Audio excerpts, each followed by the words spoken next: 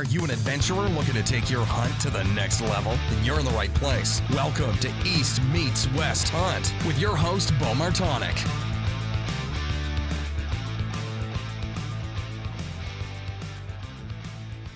All right, we're live. Cody Rich, doing it. Good to doing the good to talk What's to up, you again, man. not, not much. I just uh, it's a nice cold winter day here. It's actually warming up, some snow melting, and I just got back from the gym and figured you know we'll get on and, and uh, do a little bit of talking. It's been been a while since we caught up. Yeah, dude. Um, and yeah, I don't know. We, we still don't know how we're going to edit this. So like, it might be my podcast, might be your podcast. We're going to wing it, uh, see where it goes. But yeah, uh, dude, always a good time catching up with you. I think last time you were at my house and I think we BS for like hour, hour or two. I was like, man, we probably should just turn on mics or something. But, uh, yeah, it's good to, good to catch up, catch up with you, buddy. Yeah, it, it's it is funny because I went out to um, I went out to Bozeman for filming for outdoor class, I believe it was, and needed to rent a car, and and Cody's got a pretty slick Subaru on Turo. That, that do you, you still you still using that? You still running through that? Dude, that's a whole story in and of itself. But, uh, no, not doing a Turo anymore. Oh, really? okay.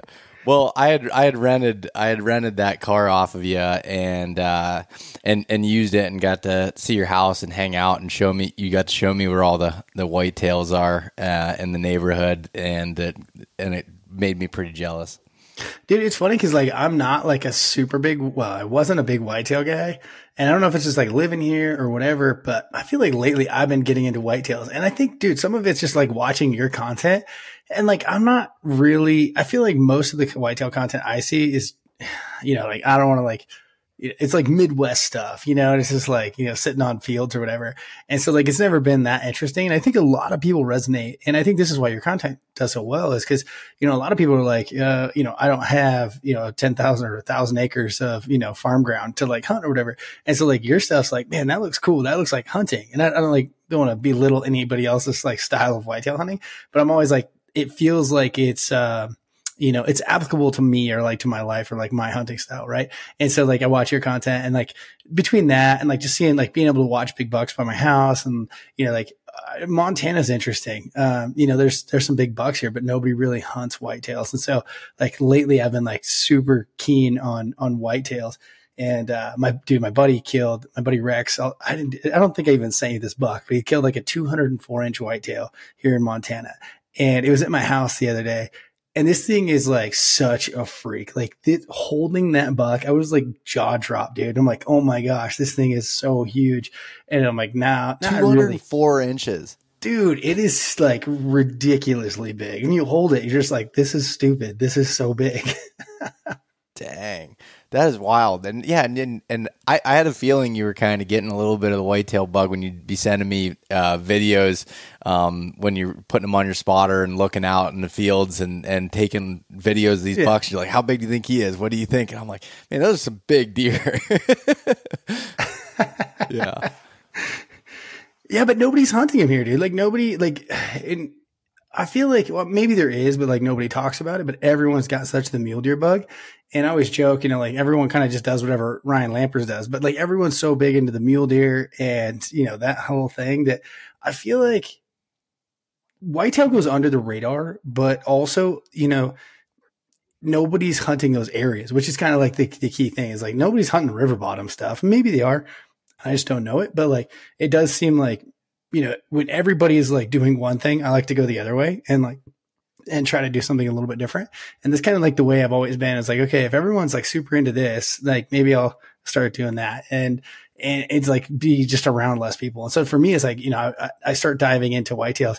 So like for me, I have like, I don't know if we want to get into whitetails first, but like I have so many questions, uh, you know, because and maybe these are like super beginner level questions, but like when I think about like how do you hunt whitetails and in in the mountains or in I or in Montana, you know, like it's very different than anything you even look up online. Like there's really not a ton of information on it, which is funny. And I feel like yours is the most relatable No. because every dude, everything is like hunting fields, hunting farms. That's it.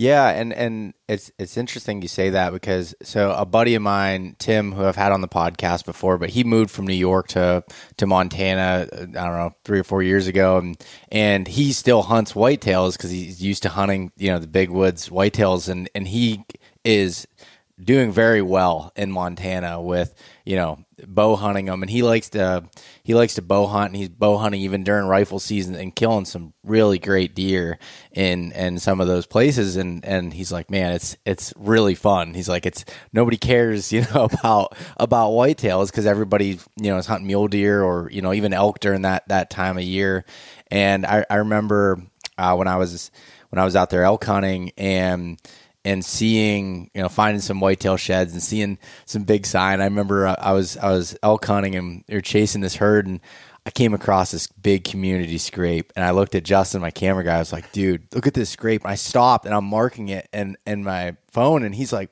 What are you doing, dude? He's like, You're never gonna come back here and whitetail hunt. I was like, You never know. Like I need to make sure I have this scrape marked because there is a big buck that's hitting this at some point and maybe I will come back, you know. it's just funny.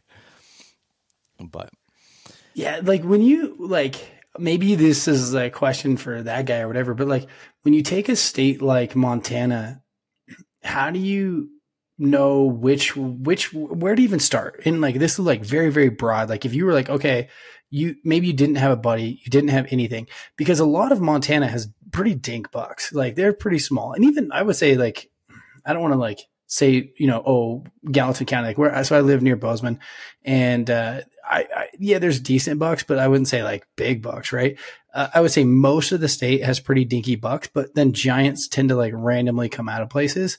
And so there doesn't seem to be a rhyme or reason on where to go. And so I'm curious, like a guy like you, like how do you even decide like what county, what, you know, river drainage, uh, you know, to go off of?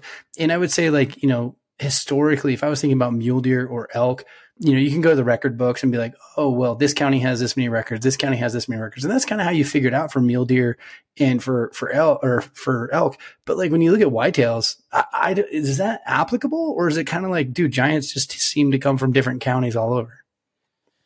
Well, no, I do think it's applicable from the standpoint of like when I look at a, if I look at a state like Montana, and if I was going to go there and whitetail hunt, there's a couple things I would look at. Like if I, it, it would depend on my goals really. If my goals were to try to find the biggest buck out there, I'm going to go and look at some of the record books and see where some of the Pope and Young deer coming from and the Boone and Crockett deer coming from, with that same understanding that.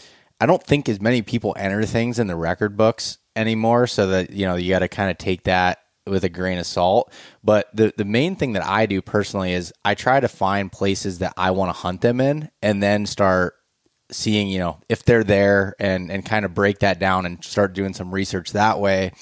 You know, for example, I like hunting areas that are big timber, um, some terrain in it because that's what I'm used to. Now, if I went to Montana, I would want that. I think I'd probably want that river bottom experience and try to learn that kind of style. But the, I mean, the, whitetails are are pretty simple from the standpoint of they they need to have food of some sort, and it doesn't mean it has to be ag field like you see in a, a lot of places. Now it can be, but finding places that have that food, have that cover, and and also it it seems like they don't they don't like to cross over as much. You know, they will cross over with mule deer and, and having some of those those mixes, but they kind of have their own ranges, so to speak. And in the western states, any places I've run into whitetails, it's typically not up super high. You know, it'll be in kind of the foothills and and down in some of those those river bottoms because it does have the most food that they like to have. The browse is a little more lush and having some undergrowth and some different stuff for them to to be able to have. But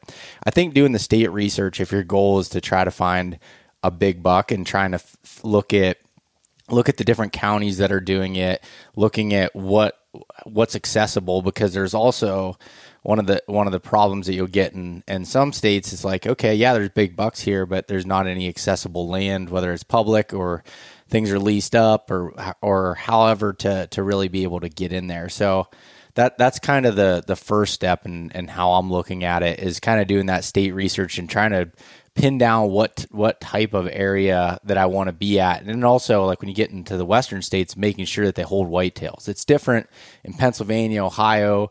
You know, this I know there's whitetails everywhere. So it's just really it's for me, I'm trying to find habitat diversity of you know, I, I really like uh, places that, that have logging and have clear cuts because it's going to create a bunch of browse and also bedding cover for them. They have security, and I'm trying to find those things here you know, out there, it's really you can cut down on a lot of areas, but just by just seeing where the whitetail range is and and trying to start there, you know, that's that's kind of the first steps for me. It does seem like super pockety in Montana. Like you have, you know, you have areas with definitely, I mean, like lots of whitetail, and then areas without it, and it, it's it seems really pockety. And it, I wouldn't. Maybe it's feed. I don't think it is, but like it definitely um, you'll find areas where the whitetails are very mixed with mule deer, and then you'll find areas where you know it's pretty just pretty much just whitetails. And so, like when you look at it, it's like it's kind of difficult. And from what I've seen in Montana, like there's a little bit you can look at the record books. You can kind of just hone in on ag. Um, you know, clearly the river bottoms. See, the river bottoms tend to hold, I would say, a lot more blacktails, but at the same time, like that's just like where everyone's focused. And so, you know, those can, and they're limited access. They're all these things. So like it tends to like be that highlighter that most hunters are going to go to. Like if anybody is thinking about public land whitetails, generally speaking, they're like, oh, river bottoms uh, with public land. Well, that's pretty narrow. Like he narrows it down enough to like, there's not going to be a ton of uh, older age class because everyone's like shooting them out or whatever. But like that's kind of like you know like what's the next level? So I would say like you know okay for me like okay I want whitetails uh you know want to hunt the river bottom that's the experience. Everyone says that. You look on onX, and all of a sudden it's like there's, uh, you know, oh, this has quite a bit of public, and well, duh, there's going to be ten dudes hunting that, right? And so it just like you're like, what's what's a guy like you? How does he think outside of the box? So one one way that I would say is is I don't always attribute a lot of deer with big deer. So, you know, personally too like with Montana, if I was like really trying to target some some big deer, I would head to some of the mountain ranges that historically have some older age classes of deer. And i'm not going to highlight that you know those areas on the podcast here but like i would go to these places that that that are, are, are I mean they're pretty well known, but to be able to go there and try to find them in those places where people aren't traditionally even hunting whitetails and you might go days without seeing them, but you have a chance of finding a really old bruiser that's kind of coming through and I would I would start the the scouting process and trying to f- get in there and you know find get boots on the ground, but I think the the again one of the biggest hurdles and and things that I think I would struggle with with the western side of it is just figuring out where their range is because I know you said they do cross over a lot, but you know you can get there's some really big whitetails in the Montana mountains as well that have that but they don't go up super high. So you got to figure out kind of where that range is in in elevation where they like to be at and then get up in there and and really scout it out and try to find places that and try to find a sign, try to find the scrapes, try to find, um, well, if you go in in the spring, try to find some sheds. I mean, that's that's always uh, a, a, decent indicator. The problem with that too is depending on the winter, they could be in the sheds could be in a completely different location if they're you know dropping down lower and and and moving there. But trying to find some tracks and trying to find habitat that just looks whitetaily, which for for me it's it's it's places that have browse have a lot of that kind of newer growth stuff that that mixes through it and and be able to go in. But trying to break down those areas into a manageable chunk to even begin with the with the e-scouting and then you know getting some boots on the ground and and being able to to go in there and check it out. But the the moral of what I'm saying there is I wouldn't always just look at you know you think of Montana as the river bottom spot, and and there are limited options to be able to do that. So, I, and I don't really know the exact pressure of those types of places, but in my head, it would be like there's probably a lot of people attracted to there. So, if I'm looking at just trying to hunt a, a big deer and everything, I would go to the to the mountain approach and and try to get up in there and find those deer in the places that people are hunting elk and hunting mule deer and trying to get to those types of spots versus some of those traditional areas and and it might even seem like those deer are ghosts. It's things that you might bump into in the timber that you know that you, but you, but they'll leave sign behind to be able to let you know that they are there, and that's what I would be would be going off of. Dude, it's funny you say that because um, so we were uh, chasing cats, uh, so we are running dogs, and I would say fairly close to town, and we get to this like area where you know it's it's timber, but it's not like very huntable elk timber. It's not mule deer timber.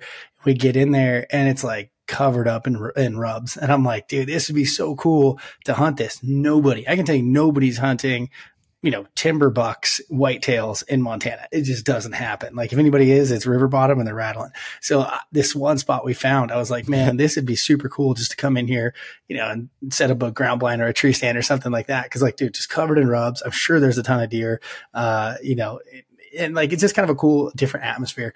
Uh, I like that kind of like idea of hunting like those mountains that are, you know, off the rivers, but like, you know, clearly there's like, that's where the populations are. So you kind of got to hunt those. Um, but, you know, take like a, so when I lived in Oregon, we used to hunt this late season muzzleloader hunt and, uh, it was super fun. Uh, December hunt, hunting rutting whitetails and those were mountain bucks. And it's funny i think the first place we ever went i think i've talked to you about this but like the first place we ever went to you know had great numbers ended up having some pretty giant bucks. Um, i think we ended up killing one of my buddies killed one that was like mid three six or 160s and uh, so like had like that potential I like we searched the mountains thinking like, you know, oh, it's all like this. And we never really found another spot like that. You know, I've hunted in Idaho, like, cause I was like, oh man, how do we do this? Like in Idaho, how do we do this?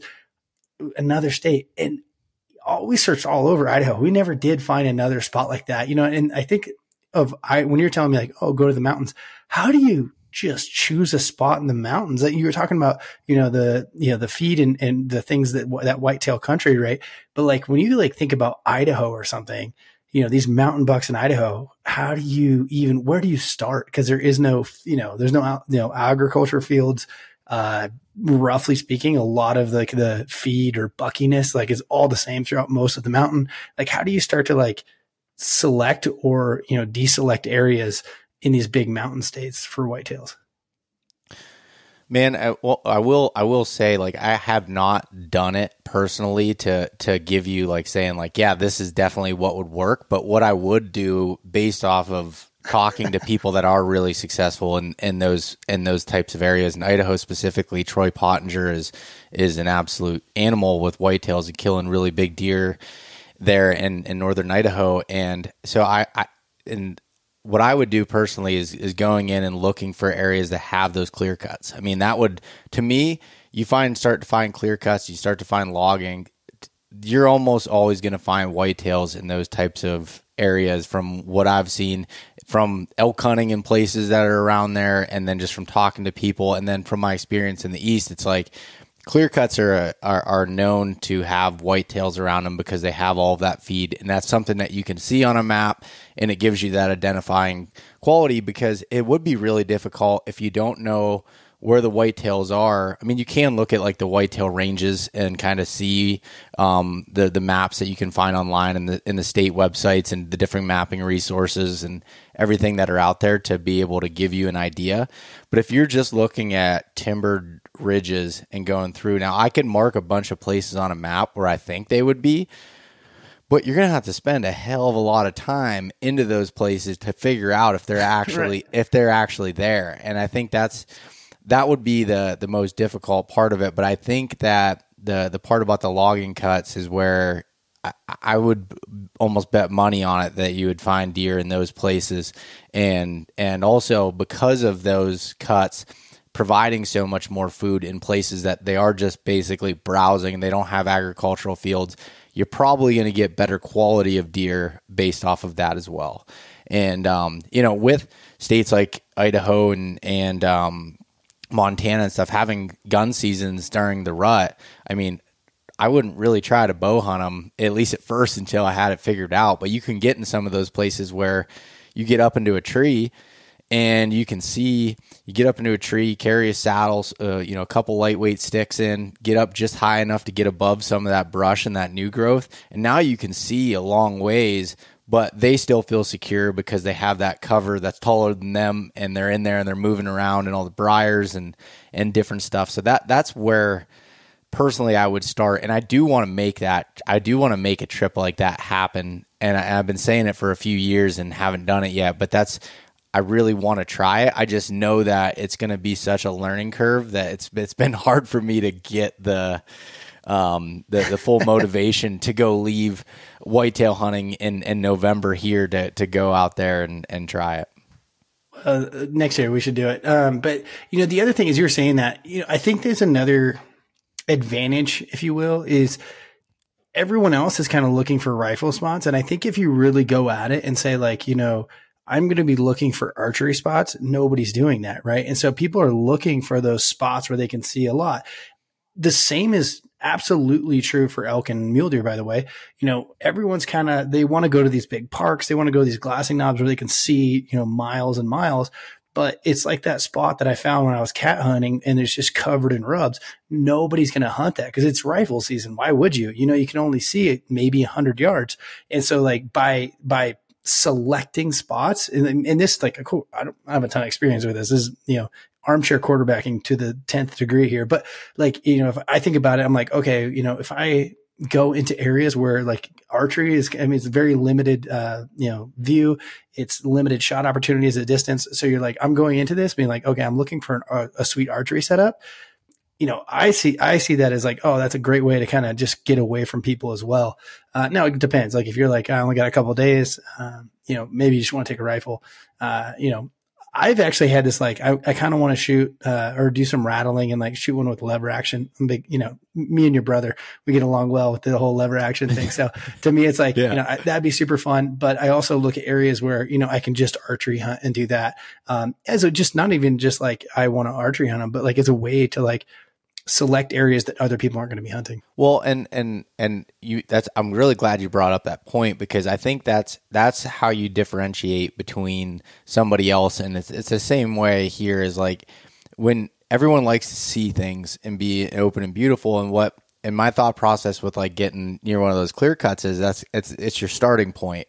You may even get up into a tree where you can see for a day and observe and see if you can see deer movement and kind of start to pinpoint some things. But typically when you get in areas like like you like you said, that's probably where a lot of you know hunters would go. And if it's an area that has pressure you know i'm kind of i guess i'm kind of looking at it from the perspective of not thinking there'd be a whole lot of a lot of pressure but maybe i'm maybe i'm completely wrong but and then finding those areas finding that that cover where they may be bedding in. Maybe it's a kind of a thicker point near that cut that's coming out and there's a bench that funnels off it and you find this big ass scrape and you might only be able to see 30 yards. And maybe you still are carrying a gun or maybe you are carrying you know your lever action or whatever but you set up in a way that you're you know bow hunting it. And the way that i would go into to doing that. I wouldn't go in of like, all right, I'm going to go and I'm going to set in this tree and go climb up there if I don't know what's going on. I would still hunt it and just, you know, sneak through these spots, hmm. check how the winds interact in those places, see how the thermals are, are working and just seeing. And then if you start bumping deer, yeah, it might seem like a bad thing, but to me, that's just confirmation. It's like, all right, found deer here. And as long as you don't, like I, am also a believer with whitetails, which you don't hear this as much in, in the farm country world, but everyone's like, oh, you know, it's the worst thing in the world to bump a buck, and I don't I don't believe that. And if you, especially if you bump a buck, and it's not wind related, if it's sight, sound, and they got away unscathed. Now, if you almost step on one and they get up and they take off, now you, you, you scared him pretty good, and he might it might be a little bit before he comes back. But if he gets away unscathed and you just see his tail going down over in the back of his rack, his plan worked. So he's going to come back to that area, and it wouldn't even be a bad idea just to sit there right then and sit there for the rest of the day because he may just do a circle and come back into that location to to go hang out. Dude, it's funny you say that because I say the same thing about elk, and um, and I 100% have uh, subscribed to that with whitetails. I always assume like if you bump a whitetail, it's over. And but with, like with elk, I always tell people like you you're better off to just bump them and know where they are than to like sneak around and think there's an elk behind every tree because they're they're so stretched out that like you know if you just were to like still hunt you know your way through the mountain you wouldn't you you may not cover enough ground to even see an elk you know versus like i'm just going to go fast and cover ground and then when we run into elk we'll, we'll you know mitigate that problem as it comes but like so many times you know if they don't smell you or you know you just bump into them like it's definitely not over. It's not. A, it's it's much better to cover ground and find elk than to like still hunt, sneak around, and never see an elk. And I, am a thousand percent. Uh, so I, I, see the parallel there between the whitetail and the elk. Um, but it's funny. Uh, I would love to like w- when you talk about like out outside of season. You're like, okay, being in an area. When I think of like, I've learned a lot by just watching the whitetails in my yard, which you know, like maybe they're some people are probably like, oh, they're yard deer. Uh, they're not quite yard deer. Like these are river bottom deer or whatever, and they're on pretty good chunk of ground. But what I see is interesting because like since the rut closed, I don't think I've seen a buck. Like uh, maybe a really tiny dink buck.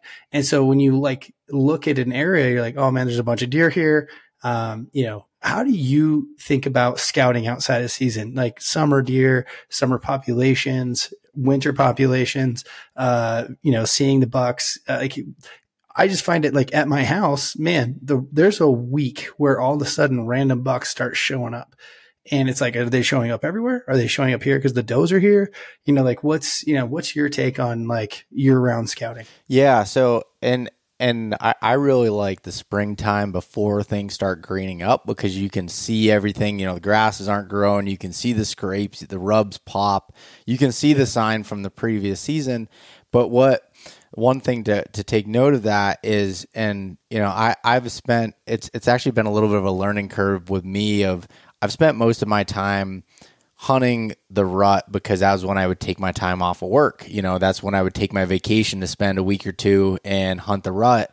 And then as I've transitioned to hunting different times of the year, some of that postseason scouting, it's tough to tell when that sign is laid down other than the pre-rut and rut sign. So it's like, okay, when you start finding, you know, a lot of scrapes, now scrapes can be used year round, but if you're going to put a rule of thumb on it, it's like it's probably an October and November thing. So you start finding that kind of sign, the scrapes and and some of those rubs, and it's like, all right, this is.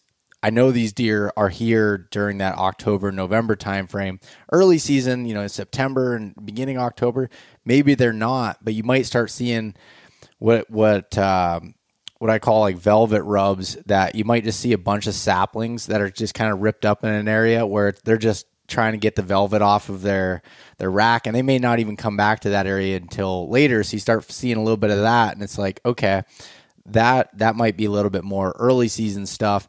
But when there's no foliage and there's no browse and grasses that are really up like in that in that springtime frame it's it's hard to see what is going to be a food source. Whereas you know in the in the east coast where you have oak trees and stuff you can see there's oak trees and there's potential for acorns which could make that a good early season spot in the western you know mountain side of it it would be a little bit more difficult to be able to see it but the rut sign would definitely be able to be visible enough to be able to see and it's it's until you look at enough rubs and really be able to to see it and try to be able to age them, it's tough to know like, okay, what time of year was this? When are they doing this? Now, there are type of rubs that that I look for called signpost rubs and and basically they'll be shaped kind of like an hourglass that you can see year after year they're rubbed you know that that the tree starts dying where the rub was and then you see fresh tine marks going on it. And that to me means that that is I, I treat that almost like a community scrape. So it's a it's a travel corridor for and it may only be one buck that hits that rub but all the other bucks in the area will come through and sniff it and check it. And it's kind of like a communication tool. And sometimes multiple bucks will hit it. Those signpost rubs, sometimes there'll be a buck that hits it his whole life. He dies, another buck takes it over. And sometimes that rub just dies because it was a single deer's kind of crossing point there hmm. and uh, of a travel route. So it's really reading that sign in the area. And it would take a little bit to really figure out what good sign looks like in a particular area and that it, it always takes me a little bit of time when i go to a new place of like what does good sign actually look like? And it takes walking a lot of ground, and that's why I do like the the springtime because you're not worried about bumping deer. You can just you know move and just cover ground, see what's going on, and start putting pieces of the puzzle together. You know, I'll I'll look at a place, say I e scout, and I'm like, I'm gonna go through here and put 12, 15 miles on in a day and just cover it. I'll go through kind of quickly marking spots, and then I go back and I look at the map and I start looking at trends. Like, okay, there was a bunch of sign here, bunch of sign here, and typically you'll start to see in areas that have elevation that they like to hang around specific elevation lines. They might drop down a little bit to feed and come up to bed. But when you start seeing bucks will move horizontally around some of these mountains and they will drop down in drainages and everything. But when you find an elevation line where there's a bunch of sign and maybe some bedding, it's like that's a really key point to note that you could probably go on that ridge across over there and go to that same elevation line and you'll start to find some of the similar sign. So that's that's an important thing. But as far as again going back to the early season eh, side of it and the different times of year, it's really going to be dependent a lot on the food and the cover. And, you know, with say your area and you're not seeing anything after the rut, I mean, if, if I remember right, you had a lot of like kind of early season foods that were out in those fields that came off the, the river bottoms. Is that correct? Yeah. What was, what was planted there? Mm-hmm. Uh, there's, uh, they like to hit the alfalfa until it turns. Um, and then, you know, kind of October-ish, they start stop using the alfalfa as much, uh, and then you'll start seeing them. They start hitting the wheat. Uh, but yeah, I would say start hitting the wheat fields uh, mid October-ish until that's kind of all gone, and then you know now it's like you see some does, but not nearly the numbers. Yeah, no that that makes sense, but it's it's really just like I said, the, the, the scouting process, and that's where I would take it in another level, and then I would go in there in late summer and now starting to check it out. That's where you're going to start to see like, okay, when season opens, especially if you have a September opener of all right, now there's there's some more sign here. There's a bunch, you know, there's deer here now, and now it's real time intel that you're going with. The the spring scouting is to kind of get you in that right direction, start to see some historical sign. And then by doing it right before the season and kind of getting in there, now you're starting to see what's actually happening at that time of year and you can kind of follow the shifts a little bit. That's, that's personally, that's how I'd look at it. So if you were going to hunt Montana, let's just say you were going to hunt the rut, uh, like November timeframe, you know, a lot of it, uh, when you think about rut hunting, well, when I think about rut hunting, it's like almost got to just be in the, in the spot and wait for stuff to come through. Right. Um, and I know you kind of bounce around, uh, you, you spend a lot of time, you know, that's kind of the advantage of the tree saddle and stuff like that. You know, like if you, let's just say late November, uh, river bottom, are you, keying in on specific areas or you just kind of keying in on like, oh man, there's a lot of deer in this, like this area. Uh, you know, I'm just going to be in that area and see what runs by when it comes to the rut, I mean, I just want to find the does. And it's like find the does and then find places that are going to pinch down with cover in between those places. Say you see a, dupe, a group of does. Say you're, I mean, with a river bottom spot, I'd imagine you'd be able to glass it a little bit from afar.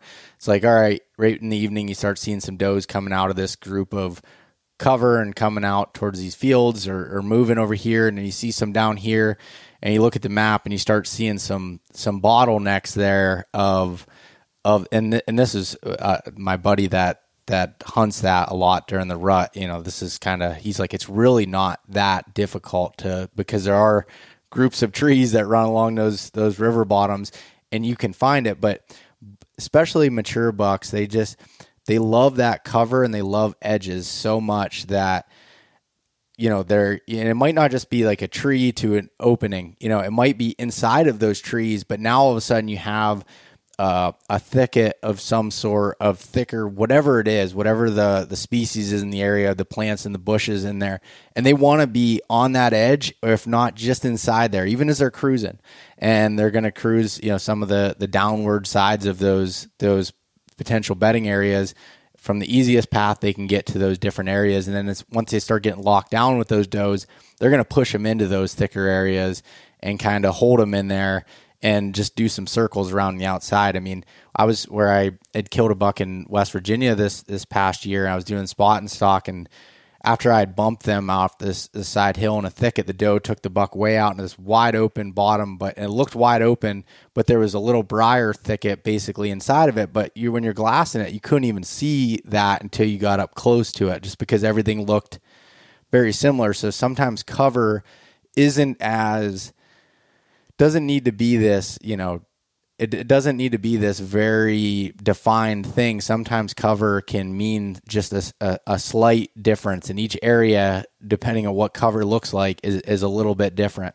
And and they'll like to to to put them, you know, have those does in those places. And when you when you can have a visual advantage in glass, you can really take advantage of that and really even get on the ground and kind of sneak your way into that to those places and try to get close to it. And almost like what I was doing was um, I was actually challenging the buck almost like you would do. Think about like what you do with an elk, and and you get in and, and you're trying to you know you're trying to talk to the, the lady a little bit there that's you know bedded there with him and by doing that you can get him depending on his temperament get him riled up and have him actually come in so that's a, another kind of strategy there as far as going going in yeah. but but really trying to find there's there's two two things really to think about with with the rut and how I would look at the river bottoms is finding the does and then finding the places that pinch down with cover between where the does are. And it's just like there's there's two different kind of strategies there of hunting the does right on their bedding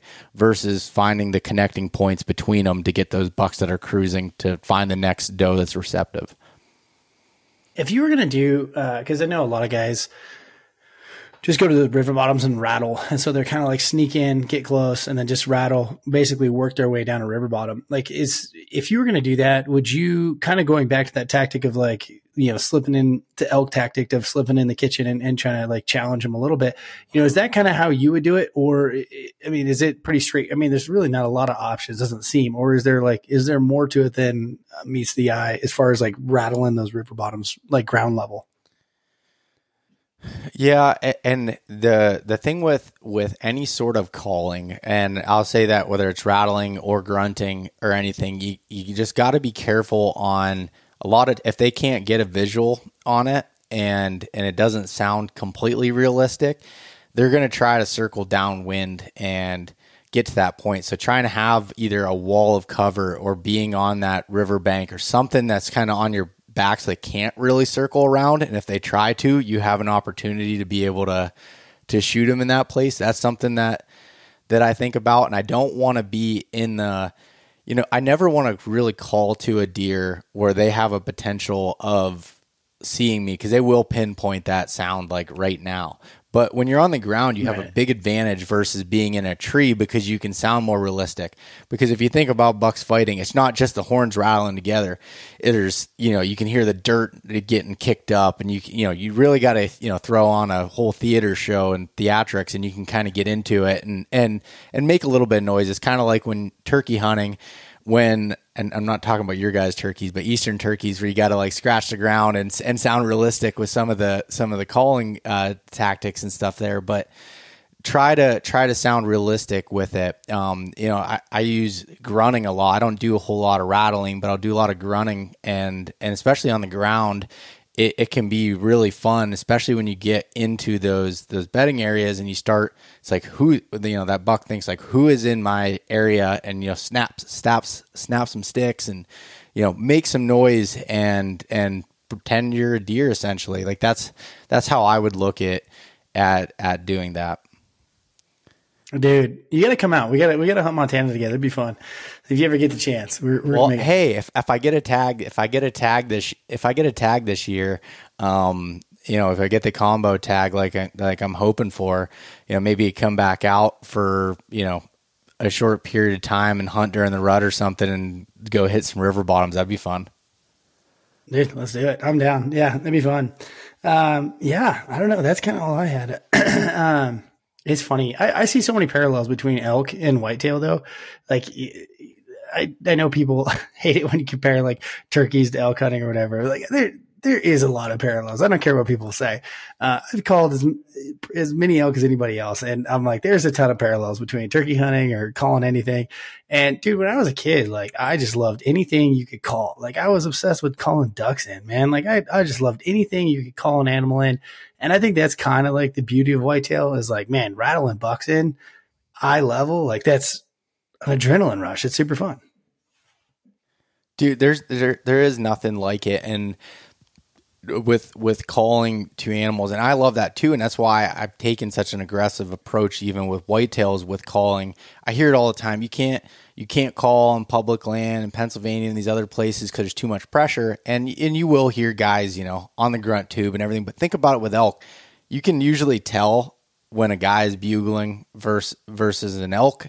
And you know the people that really put a lot of t- attention to it and think about how they are doing that approach still do well with it even though it may be you know a, a pressured type spot. And there are areas that maybe it doesn't make sense to do that as much.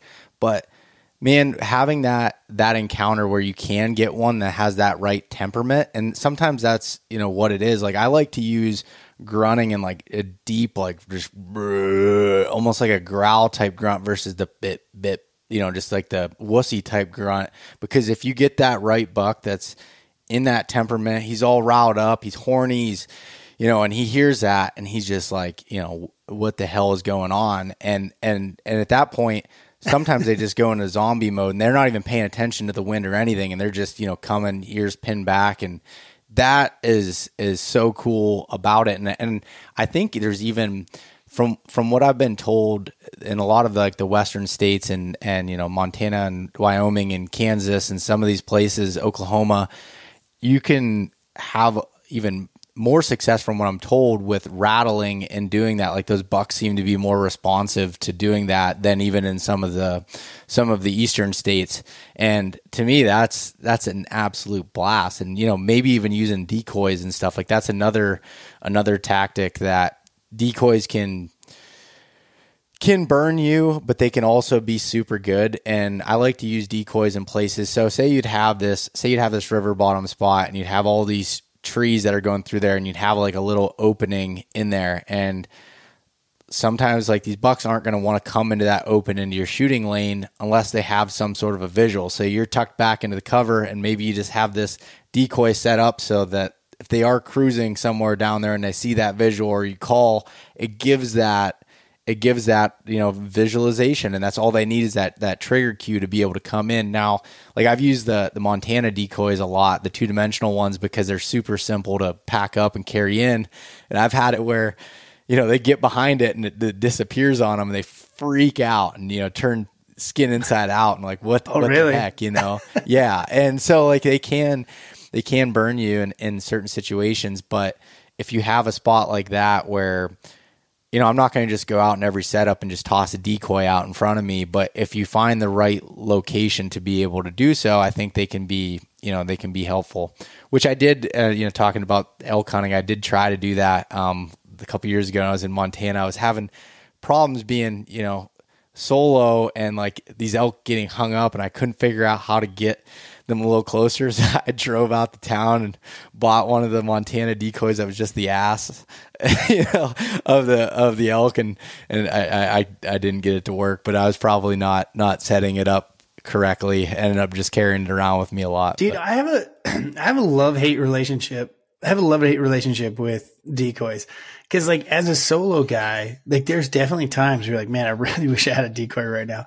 But there's equally or more as many times as I'm like, I gotta move. And like, I'm just too mobile. And like, rarely does it work out that you're like, I'm gonna set up here and call the elk in there. That never happens. And so for me, it's always like, I end up leaving the decoy behind and then there's something I gotta go get. Yeah. Uh, and so like, man, it's, it's a 50 50 for me. It's a kind of a crapshoot. Like I, I love having them. I carry them with me. I think a lot of times you just need to be patient and, and like really choose that setup well. Because like if you just willy nilly throw the elk decoy up and it's not the right spot, that's when you get in trouble and you have to move without it, right? Or go get it. And if if it is a good spot, it's probably it's probably like one of those things where I just need to get more patient. And so last year is interesting. I uh you know, called this elk in and uh, I ended up setting up using the decoy and I moved up a little bit, left the decoy there and I probably could have called that bull in either way, you know, but because I had the decoy, it forced me to like stay in that spot longer than I probably would have.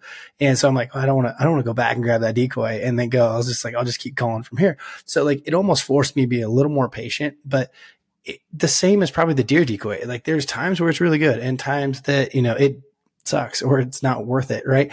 And this is the hard part is like so many times people are like, it this thing is the end all be all or that thing's the end all be all. And I'm like, man, rarely have I seen anything that was the end all be all. Like it's just like, yeah, it works sometimes and sometimes it doesn't. Some situations are good. Sometimes it's not. And so, you know, it's it's one of those things you gotta play with. You gotta learn, you gotta get better, you know, like you gotta kind of gotta like make your setup or your system. I would, yeah, with elk hunting, I talk a lot about systems. I'm like, if you want to add it into your system, you know, you kind of got to build your system around that decoy. So going back to like what you were talking about, the places you hunt, the type of terrain you hunt, like all of these things matter. And so it's not just like, oh, you have a decoy and you can throw it into any situation. Mm, you kind of got to like plan your entire hunt around like, okay, this is a good area for that. Like, you know, I'll, I'll try to use the decoy.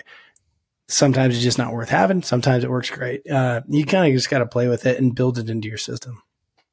Yeah, no, I I totally agree, and and and two, when we, we were just talking about um, elk hunting and, and some of the parallels with whitetail hunting, and some things that that I've noticed from spending time out west. Definitely, am not what you know would consider a, good elk hunter by any means, but I've spent enough time out there to see some correlations and some trends. And one thing I think whitetail hunters do well, but it can also be to their detriment, is they have patience where you know you can you have you know I'm used to sitting in a tree all day long from dark to dark in the same spot.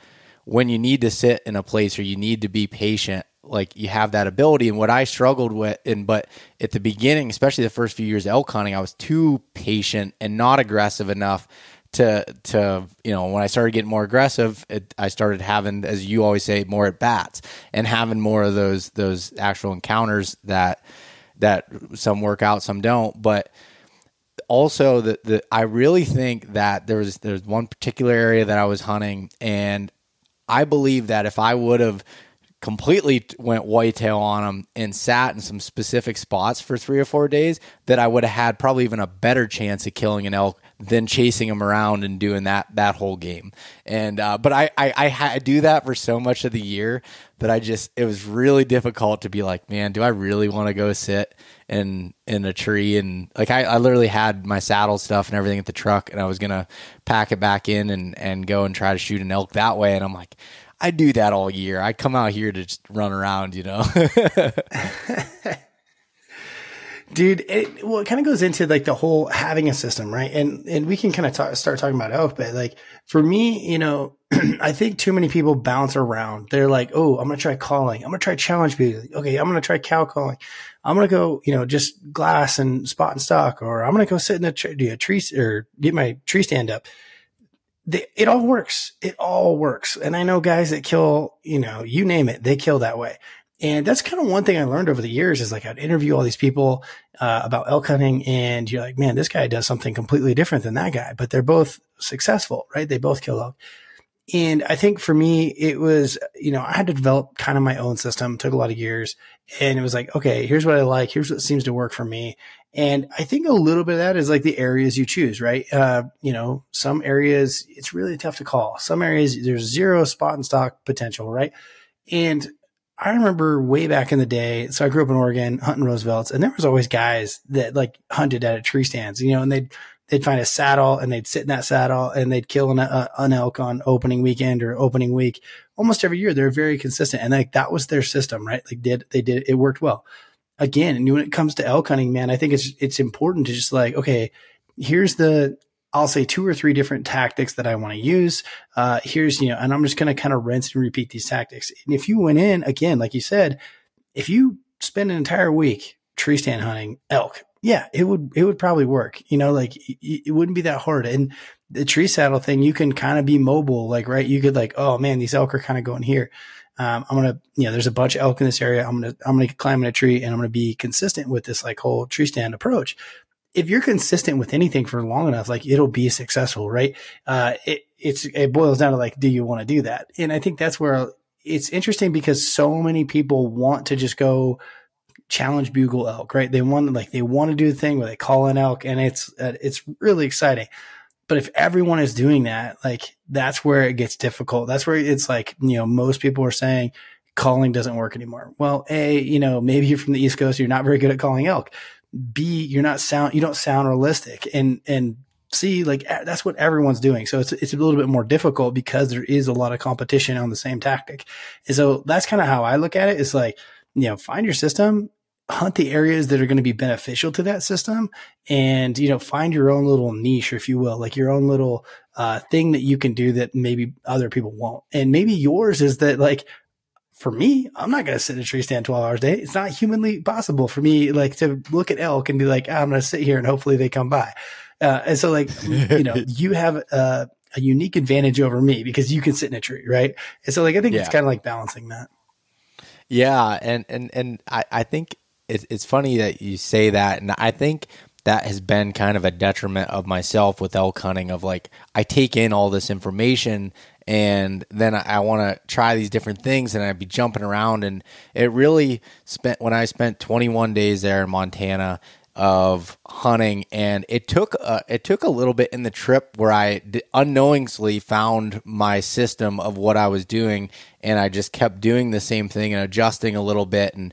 until I finally had had my opportunity on that herd bull that I was, you know, trying to hunt and it took 14 days of of doing it, but you know, I finally got that opportunity and not saying and I, am not at all saying that that was the right way of doing it, but I'd found a way that I I felt like I could repeat it and I was, you know, could continue to do it and eventually ended up having that thing. And and there could have been you know 25 different ways that may have done got to that point quicker but you know, I'd found that and I kept doing it and tweaking it, and eventually got to the point where I had you know that opportunity that I was that I was looking for, and it was. uh and but but I had ran into some other guys that there was one one guy that every single year he sits the whole first week in a tree stand in this area and he kills a bull every single year by doing that. There was two other guys that ran into that they go and they sit on these benches on these side hills between uh, wallows and where they like to bed and they'll sit there again for a whole week on on two separate of the, the two separate ridges, two different guys, and and every year they have either an encounter or they kill one, and by doing that, and it's like there's there's you know there's so many different ways to skin a cat but like you know if you were to go do that say for example for me if i were to be like oh i'm gonna do what those guys are doing and i go sit there for like a day and a half i'm like ah now I'm, I'm gonna go try this. You go chasing around you're just chasing your tail a lot I think is what you're what kind of what you're saying a little bit, and you never really give yeah, the totally. full no, part for sure. to be able to do it. Yeah, and I, you know, like it'd be like, you know, if I asked you, like, oh, how do I whitetail hunt for the entire month of October fifteenth, no, November fifteenth? You're like, well, man, it changes. Like I may do one thing October 15th that's completely different than November 1st, which is completely different than November 15th. And like, I think, you know, so when people are like, Oh, what's the best tactic for elk? You're like, well, that's a silly question. uh, and so, you know, I look at them almost as different seasons, you know, like throughout September, you know, my, my goal or strategy or like game plan, if you will, for opening week opening weekend is very different than like you know mid season you know that 5 to 15 time frame and it still again very different from like the 15th uh, on you know those later season. And then like man it gets even it changes in october. And so like like to me it's like okay there's first like where you're at which is like man i gotta try a bunch of stuff figure out my system. And then it like it kind of blows your mind when you're like, okay, now I have to have a different system for, you know, the early part of the month, the mid part of the month, late, later part of the month. And then even again in October, you know, at least in Montana where you can hunt really like kind of post rut. Uh, like it's all, it's all different tactics, which is like to say like you just need multiple systems to be able to like, okay, what do I do here? Um, to be successful. Yeah. And, and that's, no, I I I would definitely agree with you there, and and and it really does. And I keep saying it applies to whitetail hunting, but it does. Like it's the same thing, and and I always I think of it, and especially when I talk to newer people that are getting into it, it's like find what you like to do and figure out how to be good at it. And you know, obviously, like wait liking what you have to do has to be something that can work.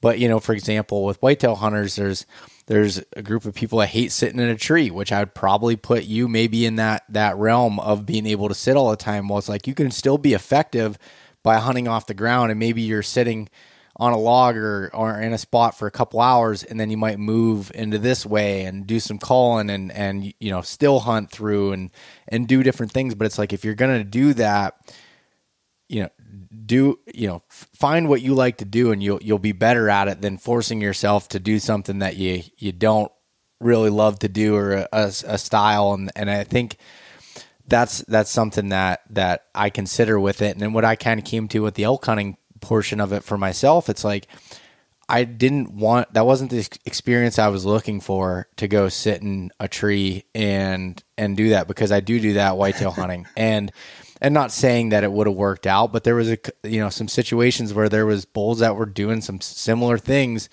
multiple days of doing the same thing going down some of these and you know saying that now you're like what were you doing? But you know this is hindsight and and and kind of learning from it. But i don't know there's just you, you kind of have to look at the way that you want to do things, whether it's whitetails or or elk, and, and kind of follow that. Even in West Virginia this past year, it literally took a podcast the night before I killed my elk when I was talking with my buddies down there, and I'm like, yeah, I go if I go sit on this ridge, I said. I think I can get that big eight point if I sit there all day for three or four days. He's gonna come through here again, checking those does. And and he looked at me. He's like, "I thought you came to West Virginia to spot and stalk in the coal country." And I was like, yeah, you know, you're right. And that's, and I went, and I went back to that being the style that I came there to do the whole time and then ended up working out and, and shooting a buck. But kind of finding those long way of, of saying it, but finding those ways that you kind of like to, to hunt and you will become better at them when you're, when you're invested in it that way. I think it's important too, to not, um, to not be wishy washy. Like if, if you say like, man, I, I you know, screw screw sitting in a tree stand. I'm going to go spot and stock, or I'm going to go call. Don't be half in, right? Like, I th- and this is, man, this is true for so many things in life, but it's like, if you're going to do something, go in on all it or go all in on it and just do that thing, right? Like, so say you're going to spot stock. Don't be thinking like, oh man, I should go back and sit that tonight or I should go sit in the tree stand tonight. Cause, you know, like just go all in on whatever you're going to do and, and commit to it because I think that's where you get in trouble. You know, guys will, ah, maybe I should just, uh, sit this water hole tonight. And it's like, dude, sitting a watering, a watering hole for one or two nights is, worse than counterproductive. Like, right? Like you, you're just not even, you're not being effective at finding elk. So in, in my opinion, I would rather, if you're going to sit water, sit water, but you're going to need a, you know, a large amount of time to do that. If you're just sitting water every once in a while, you're basically completely relying on luck. And I'd, I'd rather spend those evenings – benefiting my spot and stock opportunities. With that said, it's like, okay, how do I back up and see a bunch of country or how do I cover a bunch of ground and call to find elk, right? Like, so instead of, uh, half-ass sitting and half-ass bugle or calling elk, now I'm like, I'm all in, right? Like, how do I cover ground in the evenings and find some new elk to hunt in the morning, right? And so like, it, it's like go in all in on the strategy. I do think too many people kind of do half-ass, right? It's kind of back to your West Virginia thing. Like, well, kind of should sit here. I should kind of should spot in stock. And if you're doing a little bit of both, it's a great way to not do either very, yeah. very well. No, I, I, I, agree. And so to ask, to kind of get back to, you know, asking you some stuff here, you know, coming from a, you know, a guy that is from the East, loves to, to go out West and try to be an elk hunter and, and get into it. Like one of the things that, that I felt like I spent so much time learning to do was find elk. And you know, there's a lot of there's a lot of information. You have so much information out there on being able to find elk. There's so many resources to be able to do that. And then I ran into the situation where I found elk, and I was like, now how do how do I kill these elk? You know, like getting to that as I, I maybe you can correct me on your quote, but it's like basically of getting like 97% of the way there. And it's the people that can close on that, you know, that final 3% or however you worded it in in that way, and I felt like for all that that entire last trip I was on, I was at that that you know percentage, and then like you know I'd have opportunities, and it's it's all out there for people to see on on my YouTube, but like I had. I finally got in on one bull. This was like on day four, and it was like I felt like I couldn't find any shooting lanes. The branches were all going down through, and I shoot and I hit a branch and it skips up into the air, and and, and I miss him, and like, but spending that much time, I felt like I was around the elk every single day, and it was so difficult to to close in on it when you when you're targeting them. And from and this is maybe too broad of a question here, but how to how you look at a situation where you find when you find a herd and w- what what's your next steps like what do you think about when you find a herd so i want to back up and talk about we'll, we'll go into sequence here but like finding elk let's, let's start with there what was your system for finding elk and you know like how would you rate like how you did with that like were you were you pretty consistent with like getting like finding elk to hunt or you know like how, where would you rate yourself there um on that specific hunt, I'd say I was pretty good at finding elk in it. And there was now to caveat that, like I had some experience with the area. I I spring bear hunted the place so that I had experience and I got to see you know a lot of past rut sign. Started seeing some some sign there that was there, and then a buddy of mine that that I was going to be hunting with um, for a couple of the days had went in there, you know, a few weeks before and had found some elk and before the season had opened up and everything. So I was like kind of I had a little bit of an advantage there, but it took it did take a couple days to kind of find them, and it was more so of kind of checking these places and looking at the conditions. So the way I went about it was it was super hot, it was 100 and some degrees that opening week, and I was like, man, water is going to be super important. And uh, so I was trying to find places that had water, and I knew that there was some cattle troughs, and it was like the cattle troughs are are definitely going to have water in them for the cattle. So those were kind of like my starting points of like going near those areas and trying to find that fresh elk sign. And it took a bunch of different ridges until I found where the elk were at. But then after that, it was like they were they were there almost. Well, they were there for the rest of the time I was there. So did you hunt the kind of like the same herd or the same elk the whole the whole time? Yeah. Yeah, for the most part. Oh, now there was um, it, there, there was there was some different. I mean, there was I, I, shouldn't say the whole time. There was like a couple of different like mm-hmm. smaller herds that that I had hunted a few of the days, but for the most part, I was on the same herd that just seemed to continue to grow as September went on. Oh, well, in that case, it's it's pretty good. I would say, you know, the biggest thing about elk hunting, and it, I think I made a, a, uh, uh, a statement earlier about you kind of got to bump elk to find elk. In that most people they walk around, you know, they're like blowing their little cow call or like you know around every tree, and I bet they cover like just for reference, I bet the average hunter who comes out west and hunts probably covers a tenth, maybe even less of the ground that I'm going to cover if I was going into the same situation in a new ground, new area. Like I'm, I think it would just blow people's mind how much ground someone will cover to like, okay, I need to find elk. And I'm not even talking about one herd of elk. Like sometimes like I'll have elk and I don't even care about, you know, I'm like, okay, back pocket that. Let's go. Like we're just finding more and more and more. I want, you know, multi, I want to know everything, right? I want to know how many herds. I want to find at least two or three opportunities because like I think the average guy, I'll pick on you just because it's you know, it's easy and, and, you can take it. But like, say you come out, you're like, "Ooh, yeah, elk to hunt." You're like, "Cool, let's hunt it the next day," and you go in there and you and you screw it up, and then you're like, "Oh man, tomorrow, right?" Like I'm like, "No, no, no, that's not good enough. I want I want to screw it up three times in one day. You know, I want three different herds that day to screw up and have you know opportunities at, at bats at. And so like now, like you just went from like, let's just say a 10 day hunt and if you're lucky, you get 10 opportunities. And like, let's call a spade a spade. It's probably going to be like, it took you three days to find them. And there's maybe there's another day where you missed out in there. So now you're down to like six opportunities. Like that's six at bats. Now versus let's just say I go super hard and I get three opportunities per day. That's 30 opportunities. So my success rate was one in 30 and yours is, you know, zero out of six, right? So it's not that I, I was such a good hunter that I capitalized on every opportunity. It's that I, you know, I had more at bats, right? And so then you can extrapolate this out where it's like most good hunters won't tell you like, eh, they'll tell you I'm not that great. I just spend a lot of time doing it. So now when you extrapolate that back to like 20 days, you know, like the average dude goes on a seven day hunt and he gets, you know, four opportunities.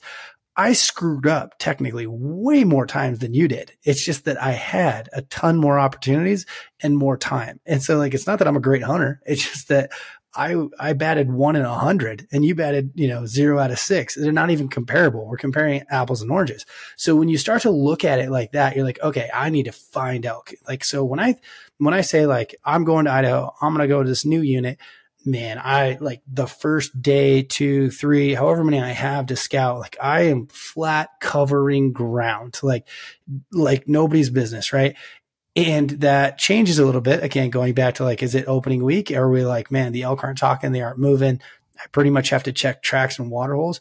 Okay, like we're to do 20 miles today and we're to check every water hole and we're to look for tracks, right? Like it's just, we're going hard. I don't care if we bump elk. I don't care if we don't even see an elk. I need to find tracks. And I'm not saying like, oh, I got to this water tank and I found tracks. Let's sit and hunt it. I'm like, nope, next. Nope, next because I'm trying to the same way you're trying to put the whole picture together. Like I'm trying to put the whole picture together. I'm like, oh, cool. Maybe there's five elk here, but just over there there was 200. Like, which one do you want to hunt? Right? It's going to be way easier to hunt the 200 than the the five. Right?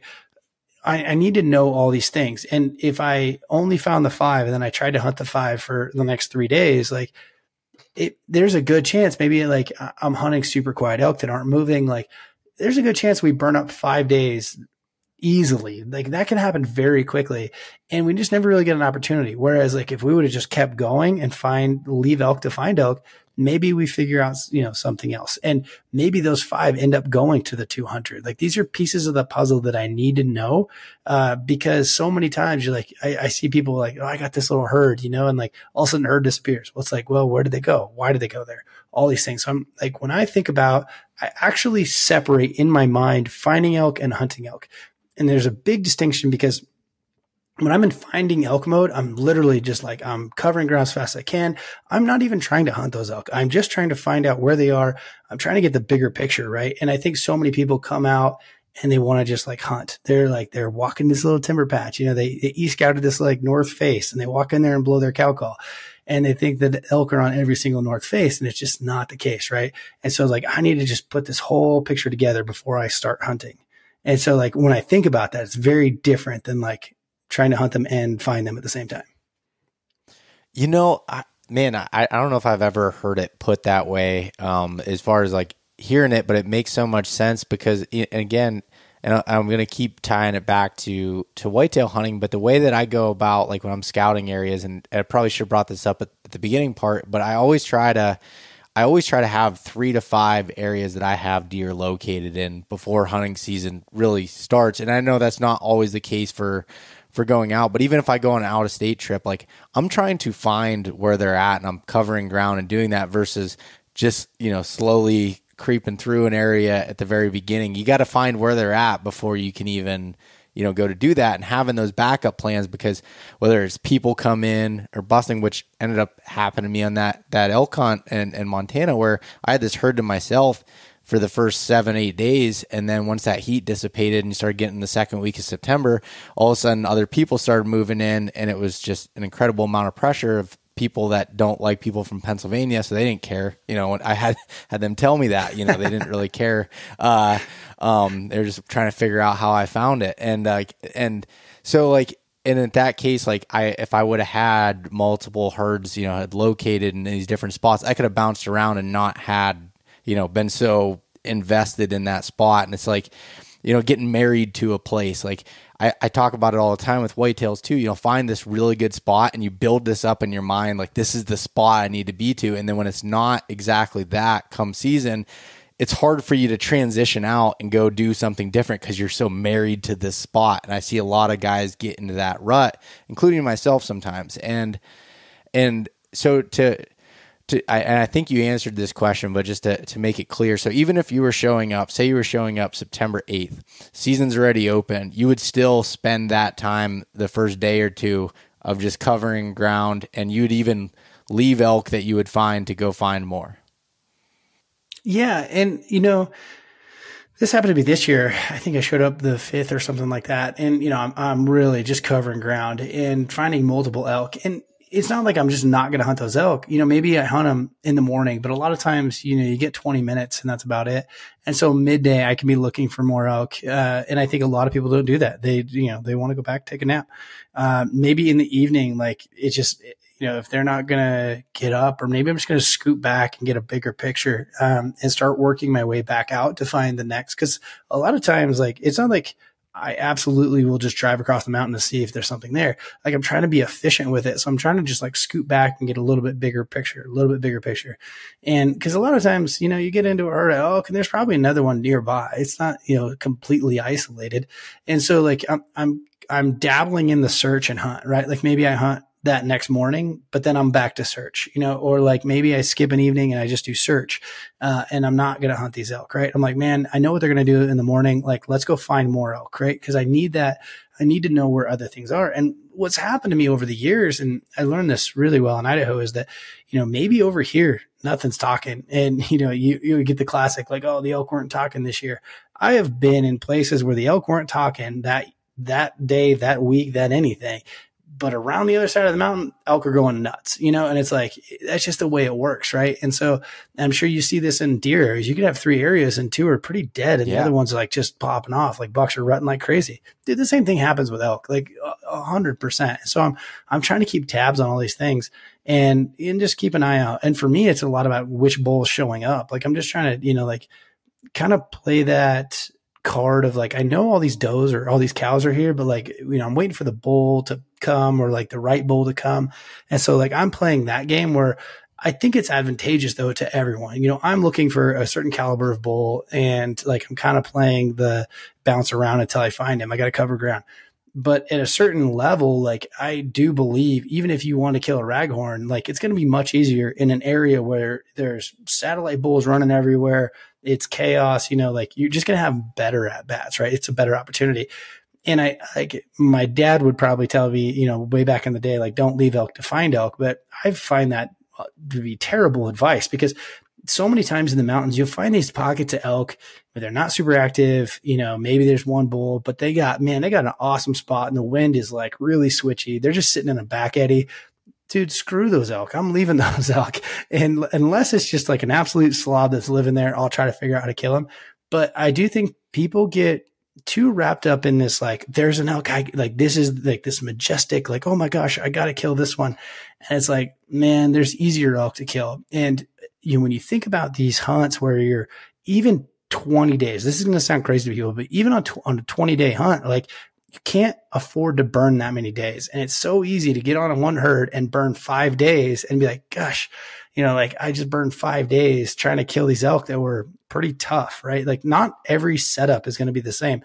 Some of these elk are going to be very approachable. What they do, where they go, how the wind lays out, all these things. Like the, there's characteristics of certain herds that are going to be easier to kill one out of than, you know, others. Like I've hunted herds of elk that just happen to have a giant bull in them. And, you know, they're very, very difficult. And it's like, man, if this was any other herd, like I feel like I could get this done a lot quicker. And so like you just kind of got to think about those things is like, you know, which herd am I going after? So I, I don't love the adage, you know, don't leave elk to find elk. I think it's actually true. I would say sometimes you need to leave elk to find elk, um, to hunt elk. And so like it kind of gets into this like having multiple search. And then as we transition into that next part of what you were talking about, I was like, man, how do I get close? Like, some of it is that. Some of it is like you gotta like some of these herds are just very very difficult to get in on because elk like to find these pockets um, and i think about like anybody who's a fisherman you know you like you know cast into that little back eddy and that that trout's going to sit in that back eddy. And elk do the same thing but with wind right? Like they're going to go up into this pocket where the wind's going to be swirling all day. And so you're like man i just can't even get close to these dang things because they just keep going there anyway, there's there's there's times to get them and times not, and this can take multiple days to kind of figure out. You know, like oh man, I should have been here, right? And then like the next day, you're like, okay, maybe I should have been here. Uh, and it's very difficult in the early season because these elk are only moving, you know, 20 minutes in the first light, 20 minutes to last light. And so like you have very, very short windows to capitalize on these things. I think that's probably one of the problems you had, right? In that early season is you're like, man, these things aren't moving until absolutely last light.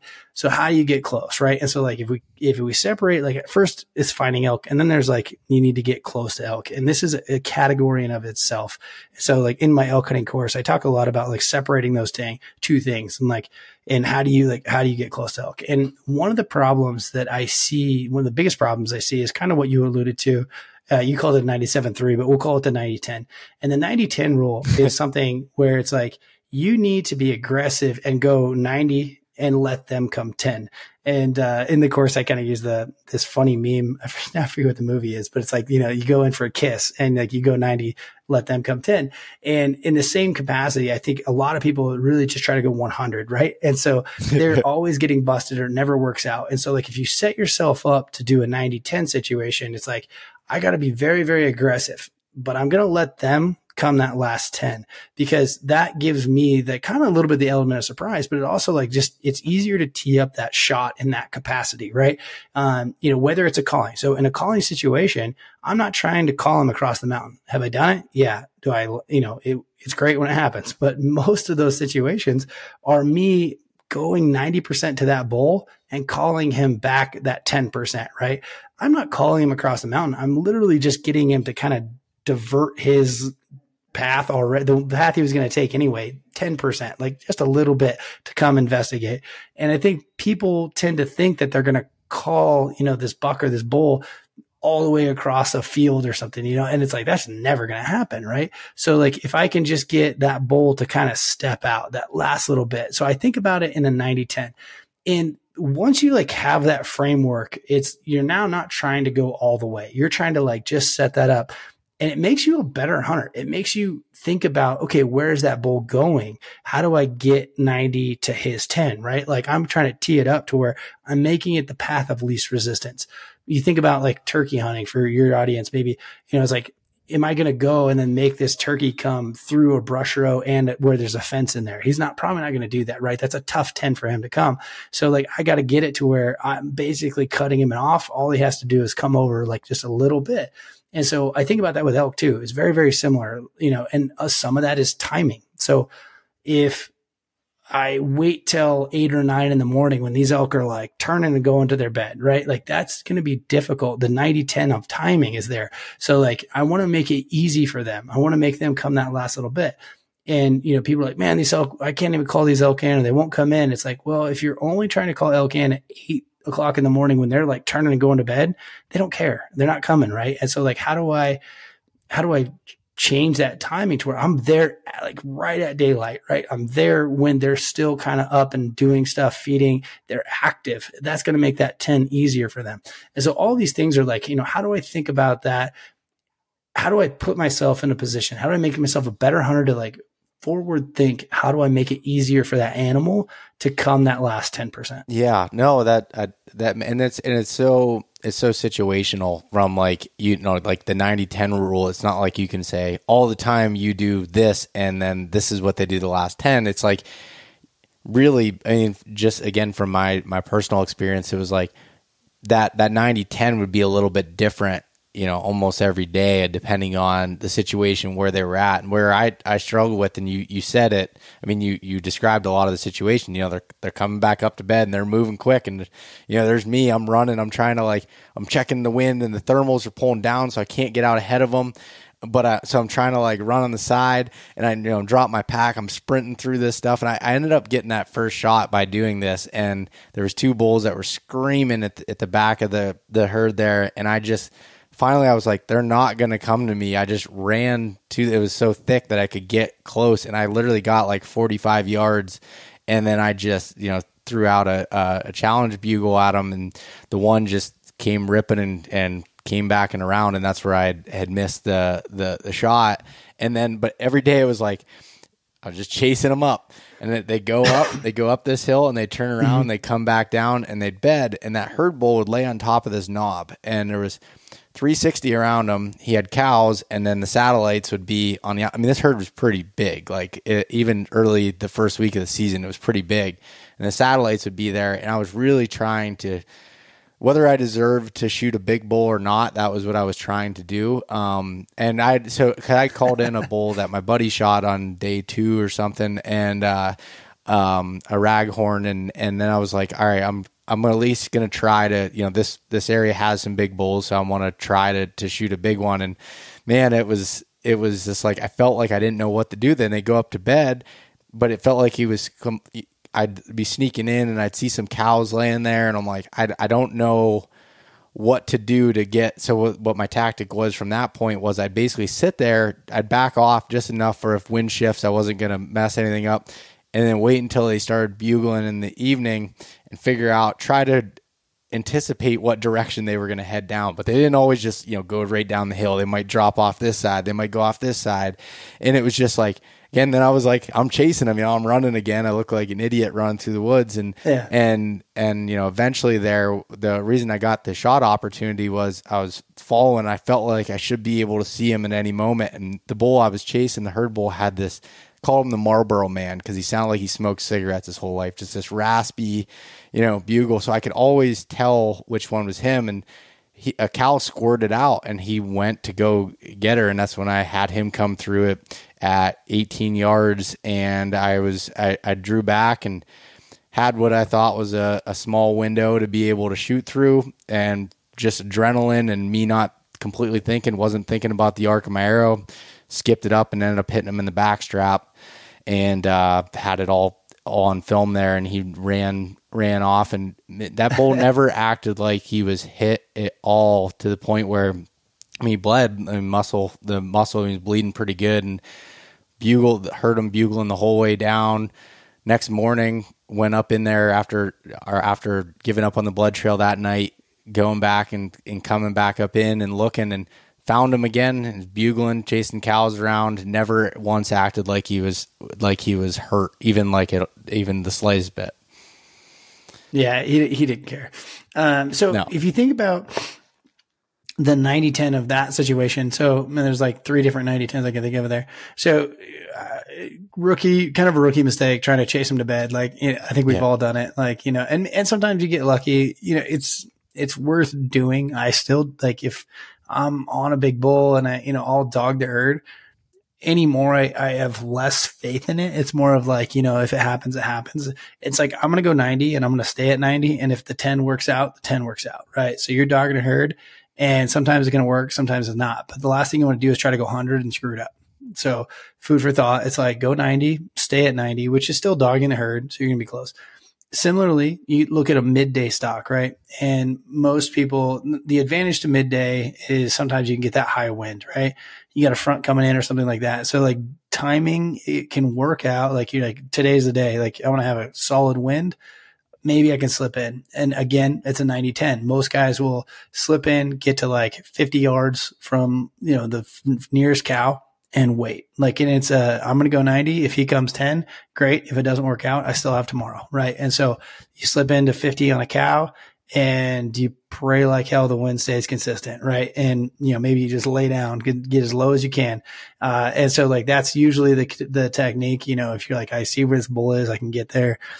Eventually he's going to get up and start checking cows. So like that's the 10, right? He's going to start checking cows sometimes it works out. Sometimes, you know, the cow that you were closest to is just not the cow, right? like I've had that happen. Um, and so like that's kind of the 90 10 of that. Um, going into what was the other one? Okay. Um, kind of the calling scenario again, you know, you're trying to cut him, you're trying to go to his, you know, to his 90 in a way where it's like you're getting in front of him. So instead of, uh, you know, you know he's going to get up in the evening, but they're going to go a different way, right? It can be difficult.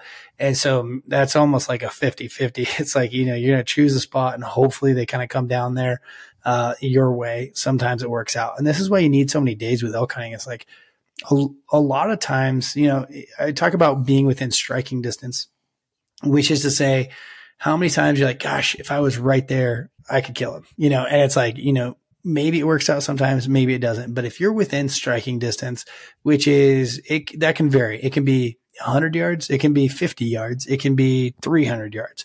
You know, you never want to screw up the situation, but at the same time, you want to be close enough that if an opportunity pre- presents itself, you're able to capitalize. So it's like when I talked about sneaking into that bowl, you know, if you can only get to 100 yards, it's probably if the wind's good and you can stay at 100 yards without getting caught, that's good, good, right? Like that's pretty rare. It'd have to be a pretty strong wind. But if even if you only get to 200 yards, you're like, okay, like the wind's kind of shifty. Let's just stay back 200 yards. Being that 200 yards, you just never know what's going to happen. And sometimes that you have to like, okay, I'm going to jump on this opportunity. Now is when the 90 10 could happen, right? And so it's a matter of, uh, kind of playing it slow, balancing that like I need to be close enough to make something happen, but far enough away to not screw it up. That's kind of like that balance you got to learn as you go, which is to say, you know, you're going to screw that up sometimes. And I think you should always caution on the side of screwing it up because too many people go the other way, but you want to be close enough to make, be able to make something happen. And, you know, sometimes most of the time, actually, when it, when it works out, you're like, man, I never would have predicted that you know, the way, you know, like your dog in the herd and all of a sudden he like slips out. Like that just happens sometimes. And that's how you kind of got to be there.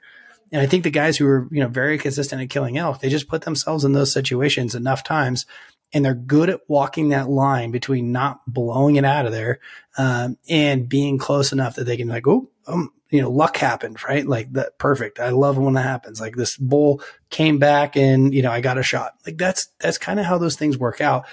And too many people either try to force a sh- force something to happen when they shouldn't, or they're just not close enough to like capitalize on that luck event. And I think that's kind of what it boils down to is just finding that line for you.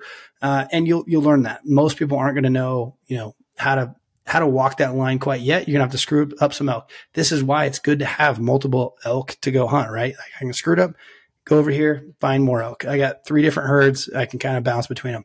And so that's, I mean, that's kind of the advice I have is like on, on getting close. And, and, you know, from there, it's, you know, there's a lot of variables and things you can kind of take out, but that's it. And again, I think it, this goes back to like having a system.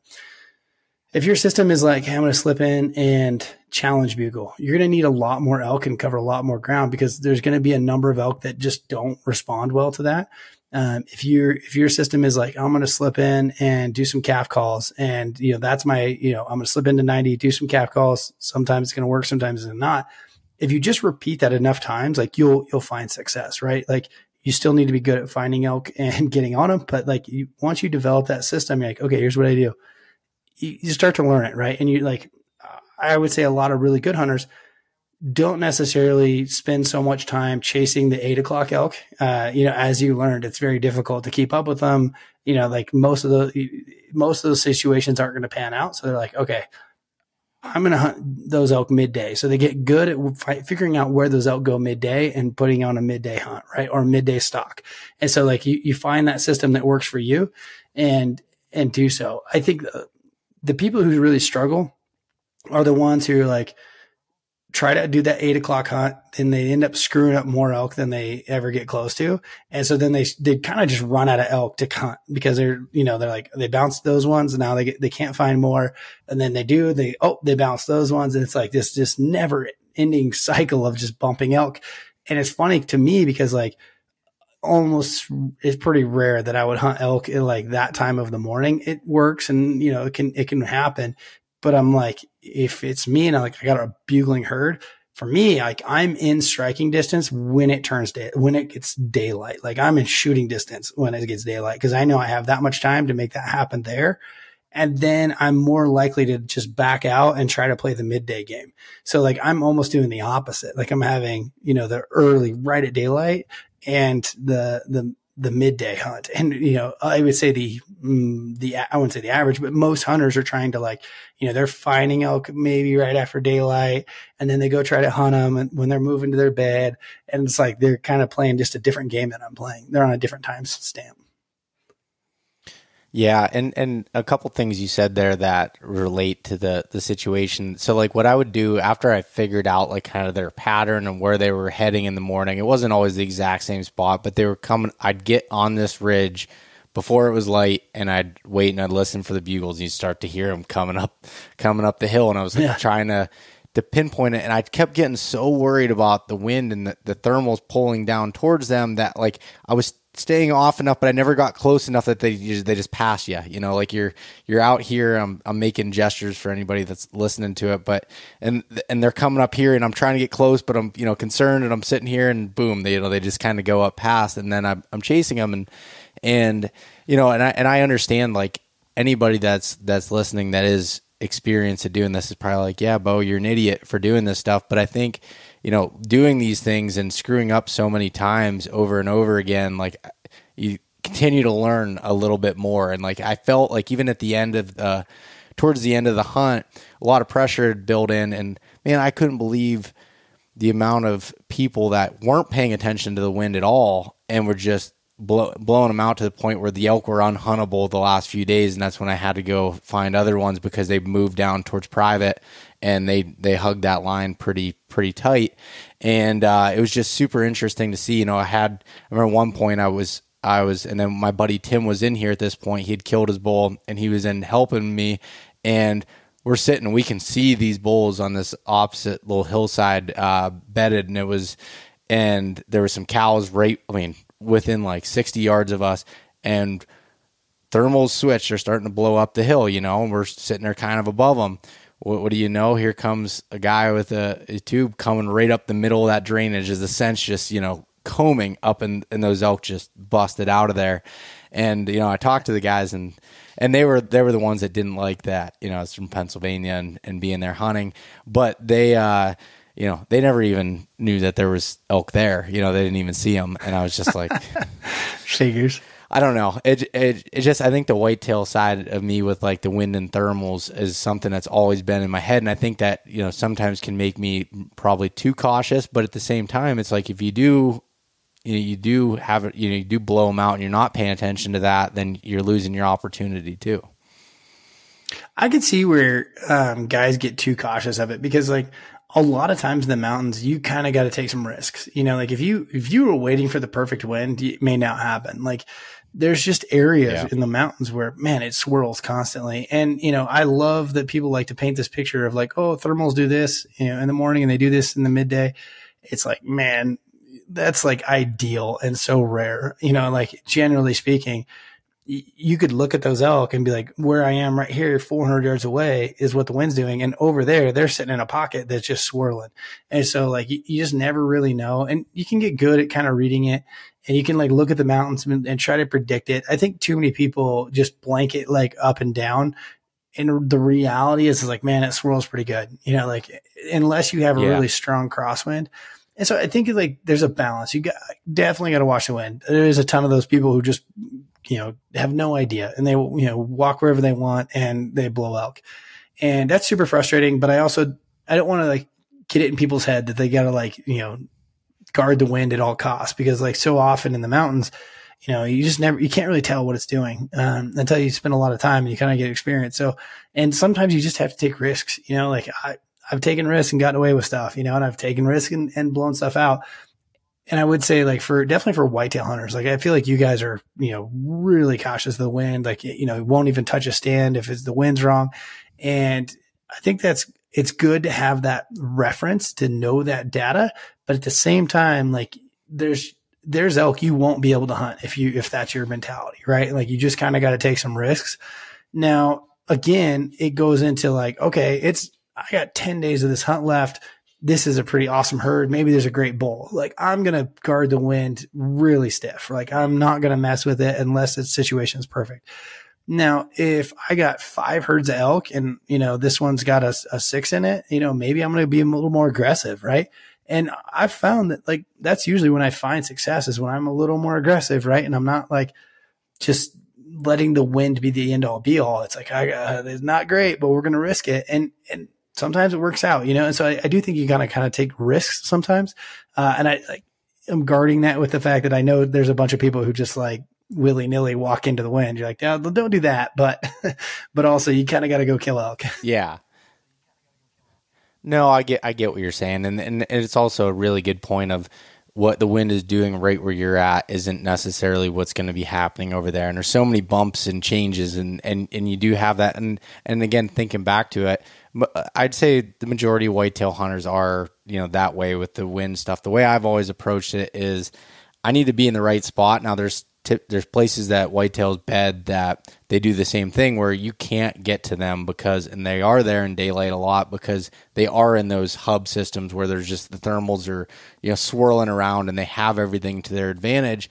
But there's also like when I'm especially when I'm hunting early season whitetails and I'm trying to get close to bedding and be there either before daylight when they're coming back to bed or I'm going in the evening and trying to get super tight you're you're you have to have it almost in where it's somewhat in their favor and and playing kind of that off thing where sometimes you it messes you up and you screw the opportunity up but that's how you're in the game. And so that's why it's making sense as you're saying that. And it's just you know wasn't it didn't click for me totally when you know when I was elk hunting as far as doing that. And I just you don't it's funny because you can like you can listen to these podcasts listen to all yours and and watch and you know do your course and do all these videos but it comes to a point where you have all these tools and then you get out there and you almost have to experience it for the information to really sink into is one of those things of like getting out there and doing it and then adding that information to it and and now you start to become better. But you, when you have those experiences when you screw them up they definitely sit a little bit more than to hear you talking to Ryan Lampers about something and oh that you guys talking about this is important and blah blah blah. And then if you haven't experienced it or seen it you may not take it as as seriously until it till it happens. And that's where you know coming back to your at bats thing and trying to you know screw up enough that it, it eventually it eventually works out. You know, a good example of that, uh, if you if you just looked at it on paper, you should never go after elk that are going to bed at all because they're you know in theory they're always going with their nose into the wind, right? And they're pretty spread out, so like it, it's pretty rare that it's going to work out, but oftentimes it does, right? And you get in those circumstances, those situations where like you know you I don't know, you're just a ridge over, or like as you get there, like the wind's not doing, you know, it's not blowing directly in their face. And, you know, to your point where like you're trying to parallel them, and yeah, sometimes they're going to go right by you and you're going to play it a little too, too conservative. And, and maybe that was a good thing. But sometimes, you know, they're going to hold up halfway back and all of a sudden, you know, maybe a satellite came in and is, is challenging, you know, a bull and those two are like scuffling. And I've had that. And so it goes back to the, like, you got to be within striking distance. And, and I get that, like, yeah, you want to keep the wind right. And if you parallel those elk or you're coming in from the side as they're coming up, you know, I don't think you did anything wrong in, in that, in that situation where you're like, I could hear them coming up and I'm trying to like not get winded, but at the same time, I'm trying to keep close. Sometimes it goes back to 90 10 you know, you're, you were at 90 and it didn't work out. They never came 10, but sometimes you're going to go 90 and that bull's going to hang up or, you know, something weird's going to happen or something else, you know, like you just never know what's going to happen. And so it's like, you got to put yourself in those situations and let it materialize. And so instead of, you know, when you look at that situation, going 100 would be like, yeah, there's no way to go 100. It's not going to happen. If I go 100, they're going to either smell me or see me but sometimes if you just go 90, it'll work out. Sometimes you won't. Right. And so in that situation, I don't think you did anything wrong there. That's just one of those where elk are, it's difficult to kill elk, right? They, they walk a different place every time and they, and they, you know, they got great noses and they're spread out. So like, it's really t- difficult to like get close to this thing that, you know, seems like it would be easy because it's so big and noisy and whatnot, but like they're kind of difficult to get close. And that's why, you know, to me, it's like play the 90 10 card or play the 90 10 rule and it'll work out in your favor one of these times. You know, it's like you got to be close enough that like maybe that bull hangs up or something happens. Maybe he bugles all the way back to bed and it works out, you know, and like that's where it's like, I'm not going to say you did anything wrong. Like I've done that a number of times and I'm not going to tell people not to like dog herds or that it's dumb to, to hunt them at eight o'clock in the morning. Plenty of times that works out, right? You just got to again, balance that between like, you don't want to bump them out. You're not trying to go 100. You're trying to go 90. And the biggest benefit of going 90 is that you get a hunt tomorrow, right? Like you get that opportunity to try again tomorrow and maybe they come up the same way. Maybe it all works out. And now you got a little more information. And this time you're going to be right at that stump. You're like, oh man, they're doing the same thing they did yesterday. And boom, it works out. And so like you just kind of just got to put yourself in, in enough of those situations where you, you're getting more data. And I, I think I look at a hunt is uh, it's a lot of bit of luck. Let's call it that. Like it's, you know, sometimes something has to go right. But if you put yourself in those situations enough times, it, it, you're more likely every day that it's going to happen. But also you're you're acquiring more data every single day. So every day you you hunt that herd, you're like, oh, they like they tend to do this or this happened yesterday. Maybe it'll happen again today. And so like you just get a little bit closer every day with a little more data, a little more information, and you know that area, you know the terrain a little bit better. You know they went to bed yesterday, and so like I feel like for me, every single day that goes by, I have a little bit of an edge, right? I'm like, oh, I know where they're going, and like even to this this bull this year that I killed a pretty good bull and like it was actually kind of a different herd. I had found a different herd. Again, I started glassing at 10 a.m. when I found that herd. And I was like, oh, that's interesting. Mental note. Well, I'm dogging this bull, um, you know, right at daylight. I almost killed him. And again, I didn't kill him, but I just kept with him. And it was, you know, the eight, eight o'clock thing where, you know, I had almost no chance. He's going into the wind. I'm trying to stay behind him, trying to keep up. And kind of, I mean, it almost happened a couple times and then it didn't, right? He shuts up. The cows and him went different ways. And, and I'm hiking back to my truck and this bull bugles and it was kind of like he was going out towards where I'd seen those cows three or four days before. And I'm like, oh, I know where he's going, you know? And like, if I didn't, hadn't looked for the, or hadn't known those cows were there, I may have not went and looked for this bull that I ended up killing. I actually thought it was the same bull I was chasing in the morning, but you know, that's a little more data, a little more data. And I, so I, I knew where to go to find where this group of cows had been. So I make a big loop, get the wind right, and I, I find the cows. I'm like, well, maybe he bedded with them. And he didn't. And I was like, oh, that's weird. So, you know, I spend a couple hours and this bull keeps bugling throughout the day and I ended up finding him midday. I don't remember. It was like one, two ish in the afternoon and uh, and I find this bull bedding by himself. But again, you know, if I didn't know that group of cows was there, I wouldn't even looked for him. Uh, but two, like I kind of had a little more data. I knew where they were. I knew how to look into there because I, you know, had glassed it before. And so each day you get a little more information and you kind of figure it all out, and then it works out. Uh, eventually, you know, you not put a stock in. And, and funny enough, like it was kind of a 90 10 stalk because like I stalked into 60 yards, I think and again, I was like, okay, I don't have a shot here, but he stands up and moves, right? And uh, I guess we could kind of dive into like what I call the 90 10 1, which in the course I talk about like sometimes you got to force a situation, which is to say, I go 90, let him come 10. But oftentimes what people, what happens is they're behind a tree or, you know, they hang up and you got to like force that last little bit. Um, in this situation, it was, you know, I went 90. Let's just say he came like five, not, not full 10, but I was trying to like stalk with him and I saw an opportunity. I saw him go through a gap and I knew that was the only gap I was going to get. So I just calculated. I, I, all I could see was antler tops. Like I wasn't uh, up the hill enough to see his whole body. And I knew likely this was not going to work out well, but like I, I just could see, I could read the situation and know that it was not going to get better. So I had to like force that last 1%. So I make a cow call and I literally run to the next tree. Oops and I have to range him and draw while he's looking at me. But I was just, you know, like, I'll take the risk. Right. And so I, I, I that last 1%. And I, I get a lot of emails from people or whatever. And, uh, you know, guys are like, yeah, I called this bull in, but I didn't have a shot. And it's like, no, you got to go to full draw and just like step out. And sometimes you got to force that last 1%, make it happen. And, and so many times people, expect like the Primos video, right? They expect to like call this bull and he's just going to like walk out at 20 yards and stand there. And it's like, nope. A lot of times it just works out that he's behind a tree and you got to like step around the tree, you know, and he's looking right at you. Sometimes it works. Sometimes it doesn't. Uh, you know, and so like, you know, forcing that last 1% is kind of getting into like the, the next level of 90 10, which is 90 uh, what do we call it? 99 one, uh, which is 90 slash nine slash one. And sometimes you got to force that last 10%. Um, but, uh, yeah, so that's kind of how it worked out for me this year, uh, on, on that bull I killed, at least in Montana.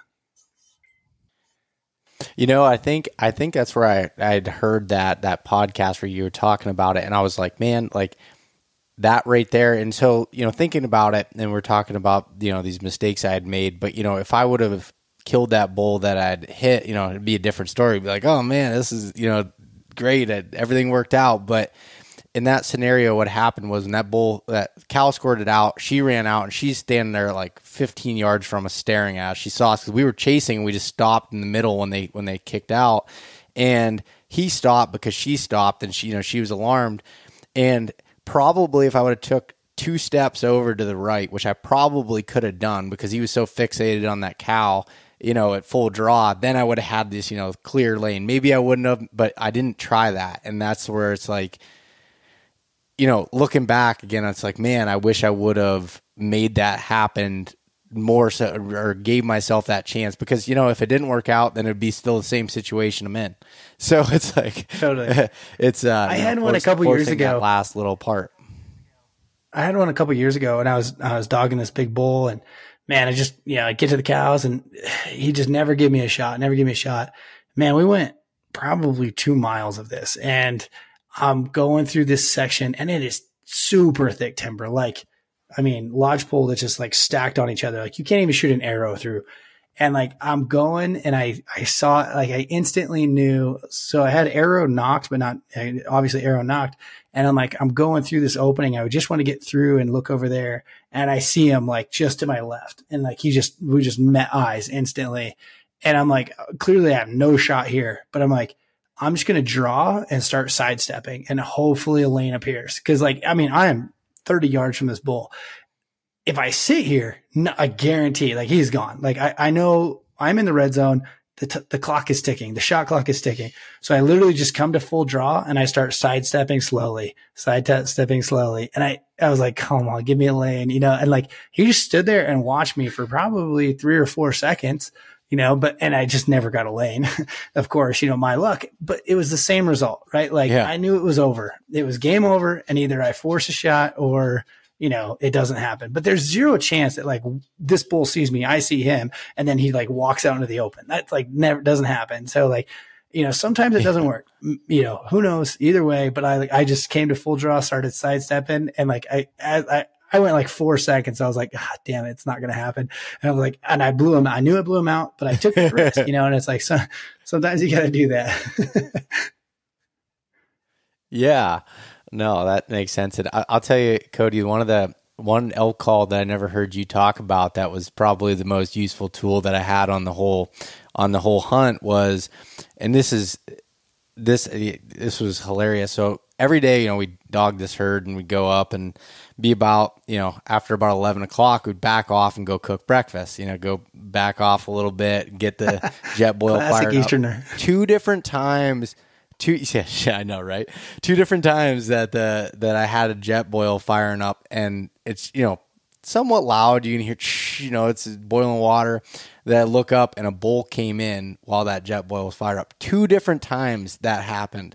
To one of No them was 18 yards. You couldn't hear couldn't hear him come in from doing that. And again, it's embarrassing to tell that those stories, but it was like it happened. And uh, um, Justin, my camera guy, was there. He's like, you can't make this stuff up. Like it was just just like we were trying to get away from the elk to to go and you know cook some food and, and eat a little bit there in the middle of the day and then go back and, and get close to the herd again and it was just like it had happened twice and I'm like I, I don't even know what to do and and the, the first time it happened the bull ran off but he didn't know what was really happening and I, and I went in the direction he was headed and he went into these thick pines and and I started cow calling and he came back out and I almost got a shot at him but it didn't it uh it, it didn't it didn't work out but it was just it was it was hilarious that the Jetboil um firing up Jetboil was the go. mostly it was just coincidence but it was just funny that you and of course you know you can't hear and it's like you can hear those those elk coming normally and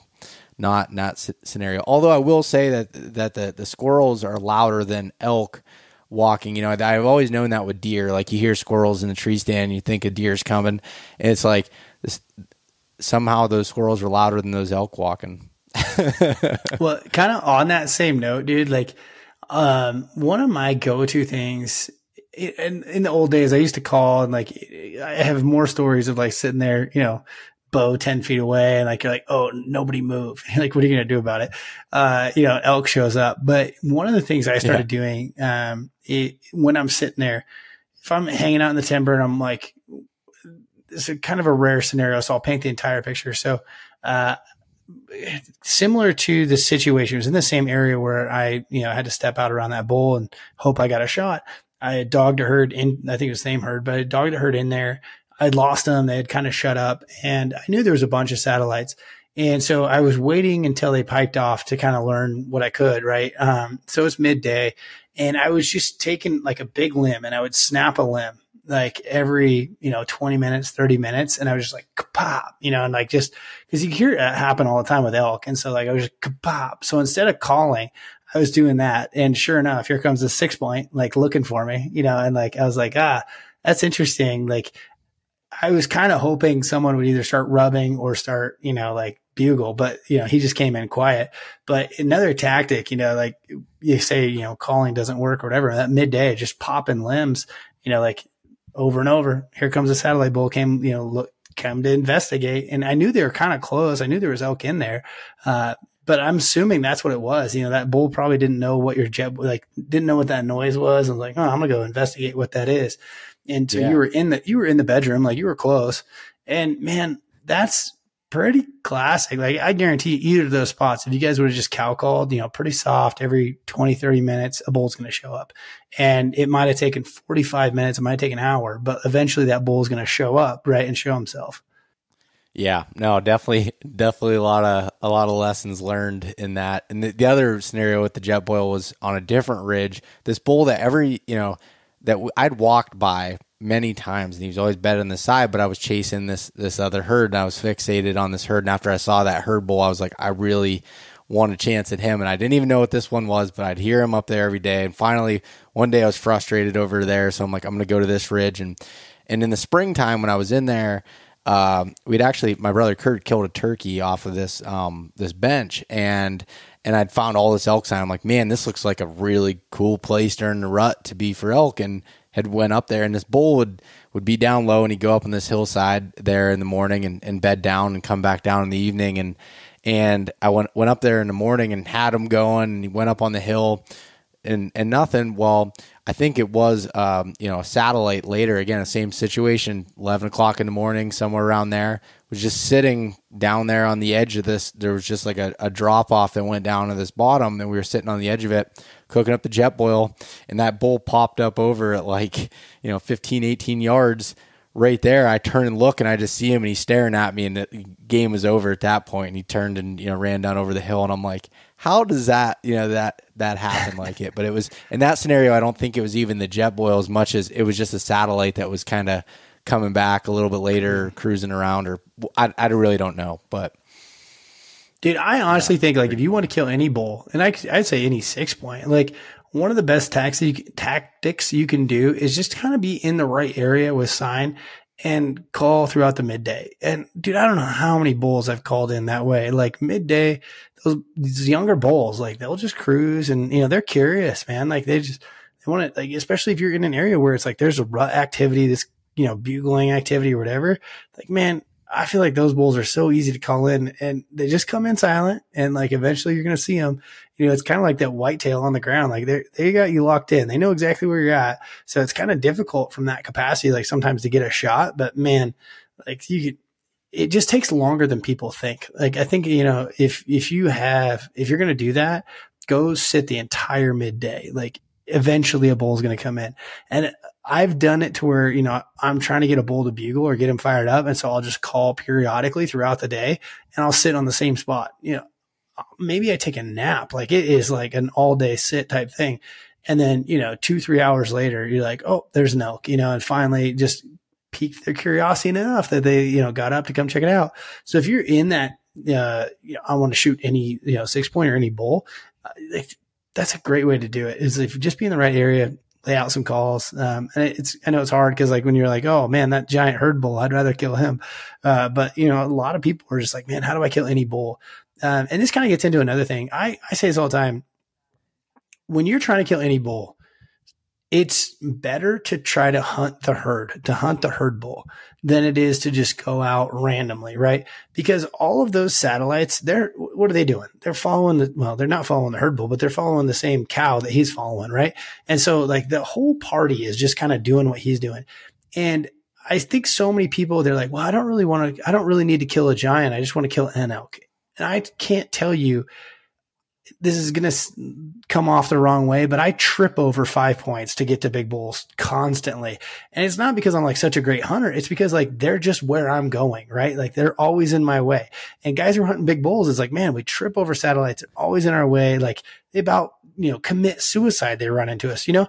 And so it's like, I, when I look at that and I see that, I'm like, gosh, if I was looking for a five point, I would just be hunting the herd bulls and it's like, you know, I think what happens is that if I just wanted to kill a five point, I'm going out looking for five points. Well, when you do that, you're kind of just hunting timber, you're doing those cow calls and like you're, you're, you're just not hunting the same way as if you were like, man, I'm going after that herd bull. And when you go after that herd bull, all those other five points are kind of doing the same thing. They're in your area. They're in your, you know, uh, you know, proximity 24 seven. And so I think it's like, to me, it's like go after the herds, learn how to hunt herds of elk and you'll run into five points. I promise. and and that makes sense. Where you know, it, it, once I got towards the end of that hunt, I was like, all right, I just want to kill a bull, and I started and I started hunting differently, and I couldn't buy a bull. You know, at that point, where it's like, and and where you know earlier in the hunt, you know, I was running into these satellites and stuff that I would have been more than happy to shoot. I just got you know me seeing this this giant bull early on was not a good thing for me because it just had me fixated on it. And I'm not I wasn't at the skill level that I really deserved to be doing that. But and what you just said there was like being in that process of hunting them was like I was seeing so many other bulls and having opportunities and and seeing them in, the, in that in that regard not saying I could have shot all of them but ha- having the the ability to see them. And then once I was, you know, going out and trying to find these other, you know, lone bulls that I had heard uh, heard throughout the the weeks, and it was just like I couldn't wasn't you know wasn't coming to fruition at that point. So that that that makes that makes sense. And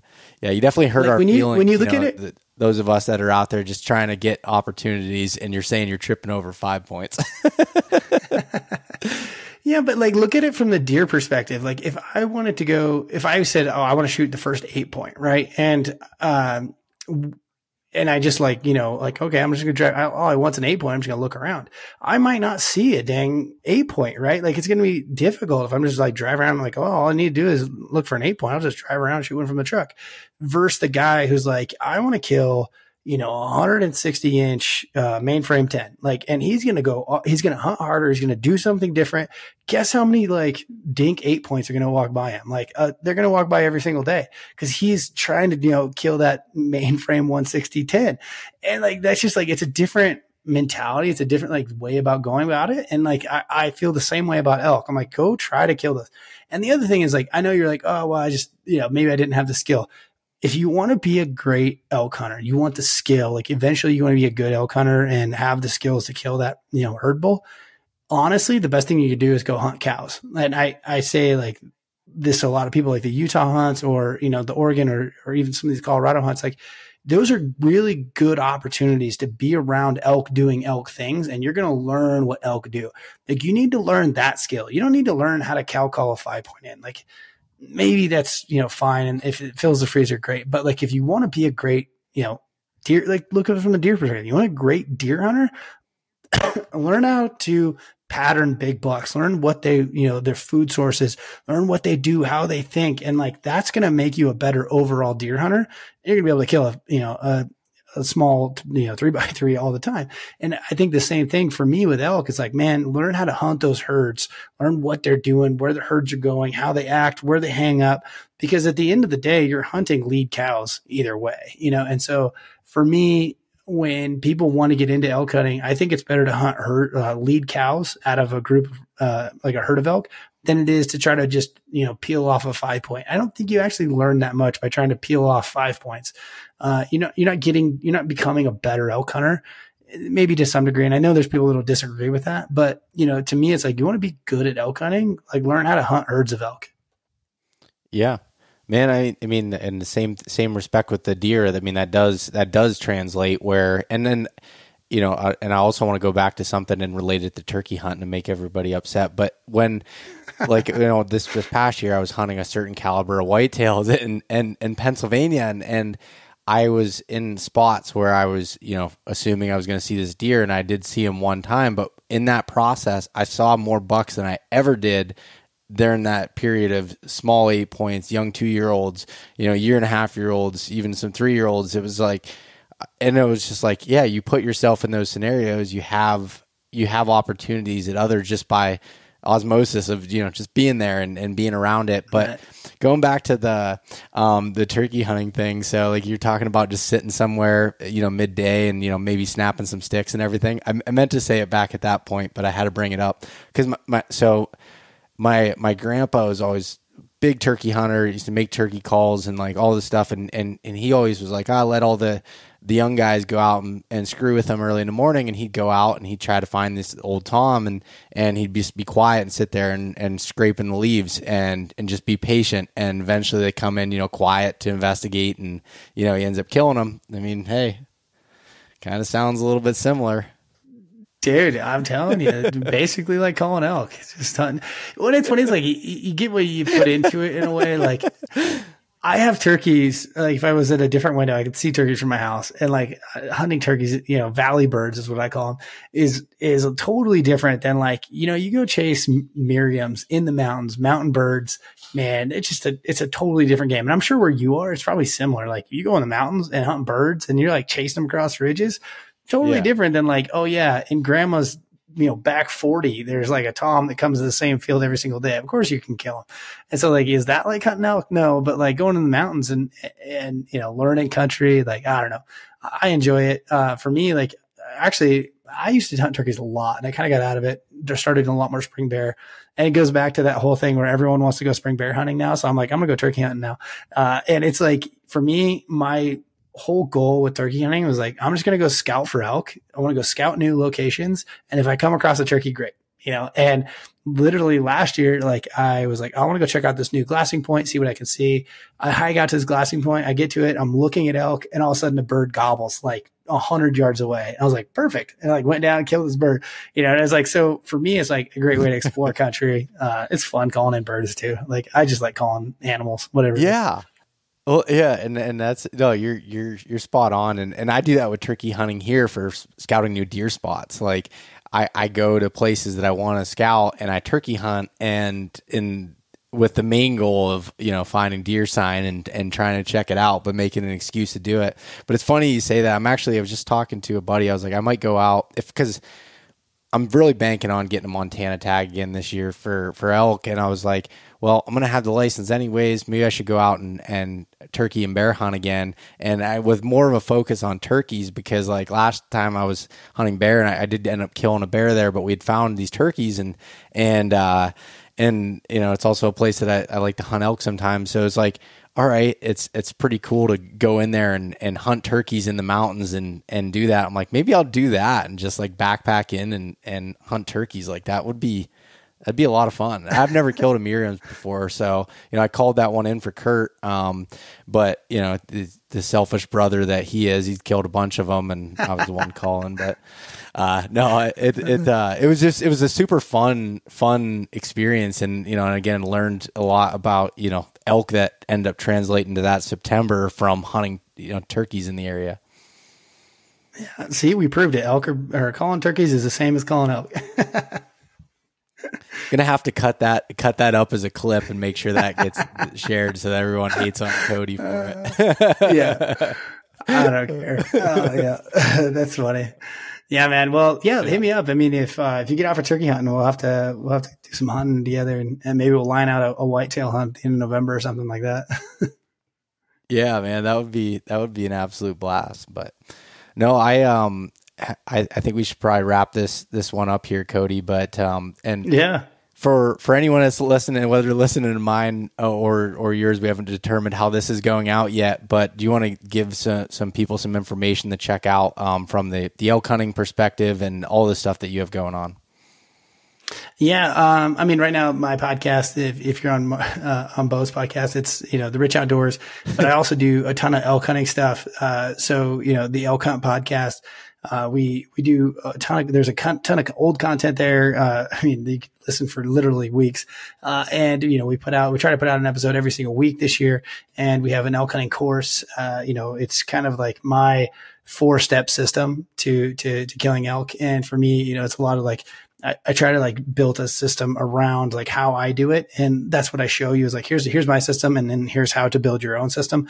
So if that, you know, if this podcast, when we were talking about elk resonates with you, uh, check that as well. We also this year doing a ton of giveaways. Um, and so we're doing gear giveaways every single month. So a bunch of cool stuff going on over on the elk hunt stuff. Um, and then, yeah, Beau, tell them, I mean, if you're a whitetail guy or if you're interested in whitetail, definitely check out Beau. I feel like he's the most relatable whitetail guy I've ever listened to or, or known. So, uh, yeah, check out Beau's podcast, East Meets West. Uh, and anything else? What else you got going? I mean, you get the outdoors class or out, outdoor yeah. class, whitetail class, course, whatever you call it. Yeah. Yeah. I'll, yeah. Yeah. The course on outdoor class of it's just full on, it's just based around specifically finding whitetails and just kind of my system for how I break things down in a more organized way than I can explain on a podcast of like kind of my system for, you know, identifying areas and, and trying to go in and, and just find deer and then going in and, and translating to scouting and doing that. And I also have a bunch of um, content on my YouTube channel, which is just under my name, uh, Beau Martonik. So you can go in and a bunch of scouting videos, bunch of whitetail stuff, and then some hunting films. You can watch the elk stuff that we talked about here and and see me try to be an elk hunter and uh, do that kind of stuff too. So. Yeah, man. Well, good stuff. Um, well, yeah, thanks for, thanks for jumping on. And, uh, yeah, I mean, let's keep in touch. Let's, uh, let's make something happen. Let's go on a hunt together. I like it, man. Let's do it. Thanks so much for listening to this episode of East Meets West Hunt with your host, Beau Martonik. For more great content and to stay up to date, visit eastmeetswesthunt.com, Facebook at East Meets West Outdoors, and Instagram at East Meets West Hunt. If you enjoyed today's episode, please review and subscribe, and we'll catch you next time.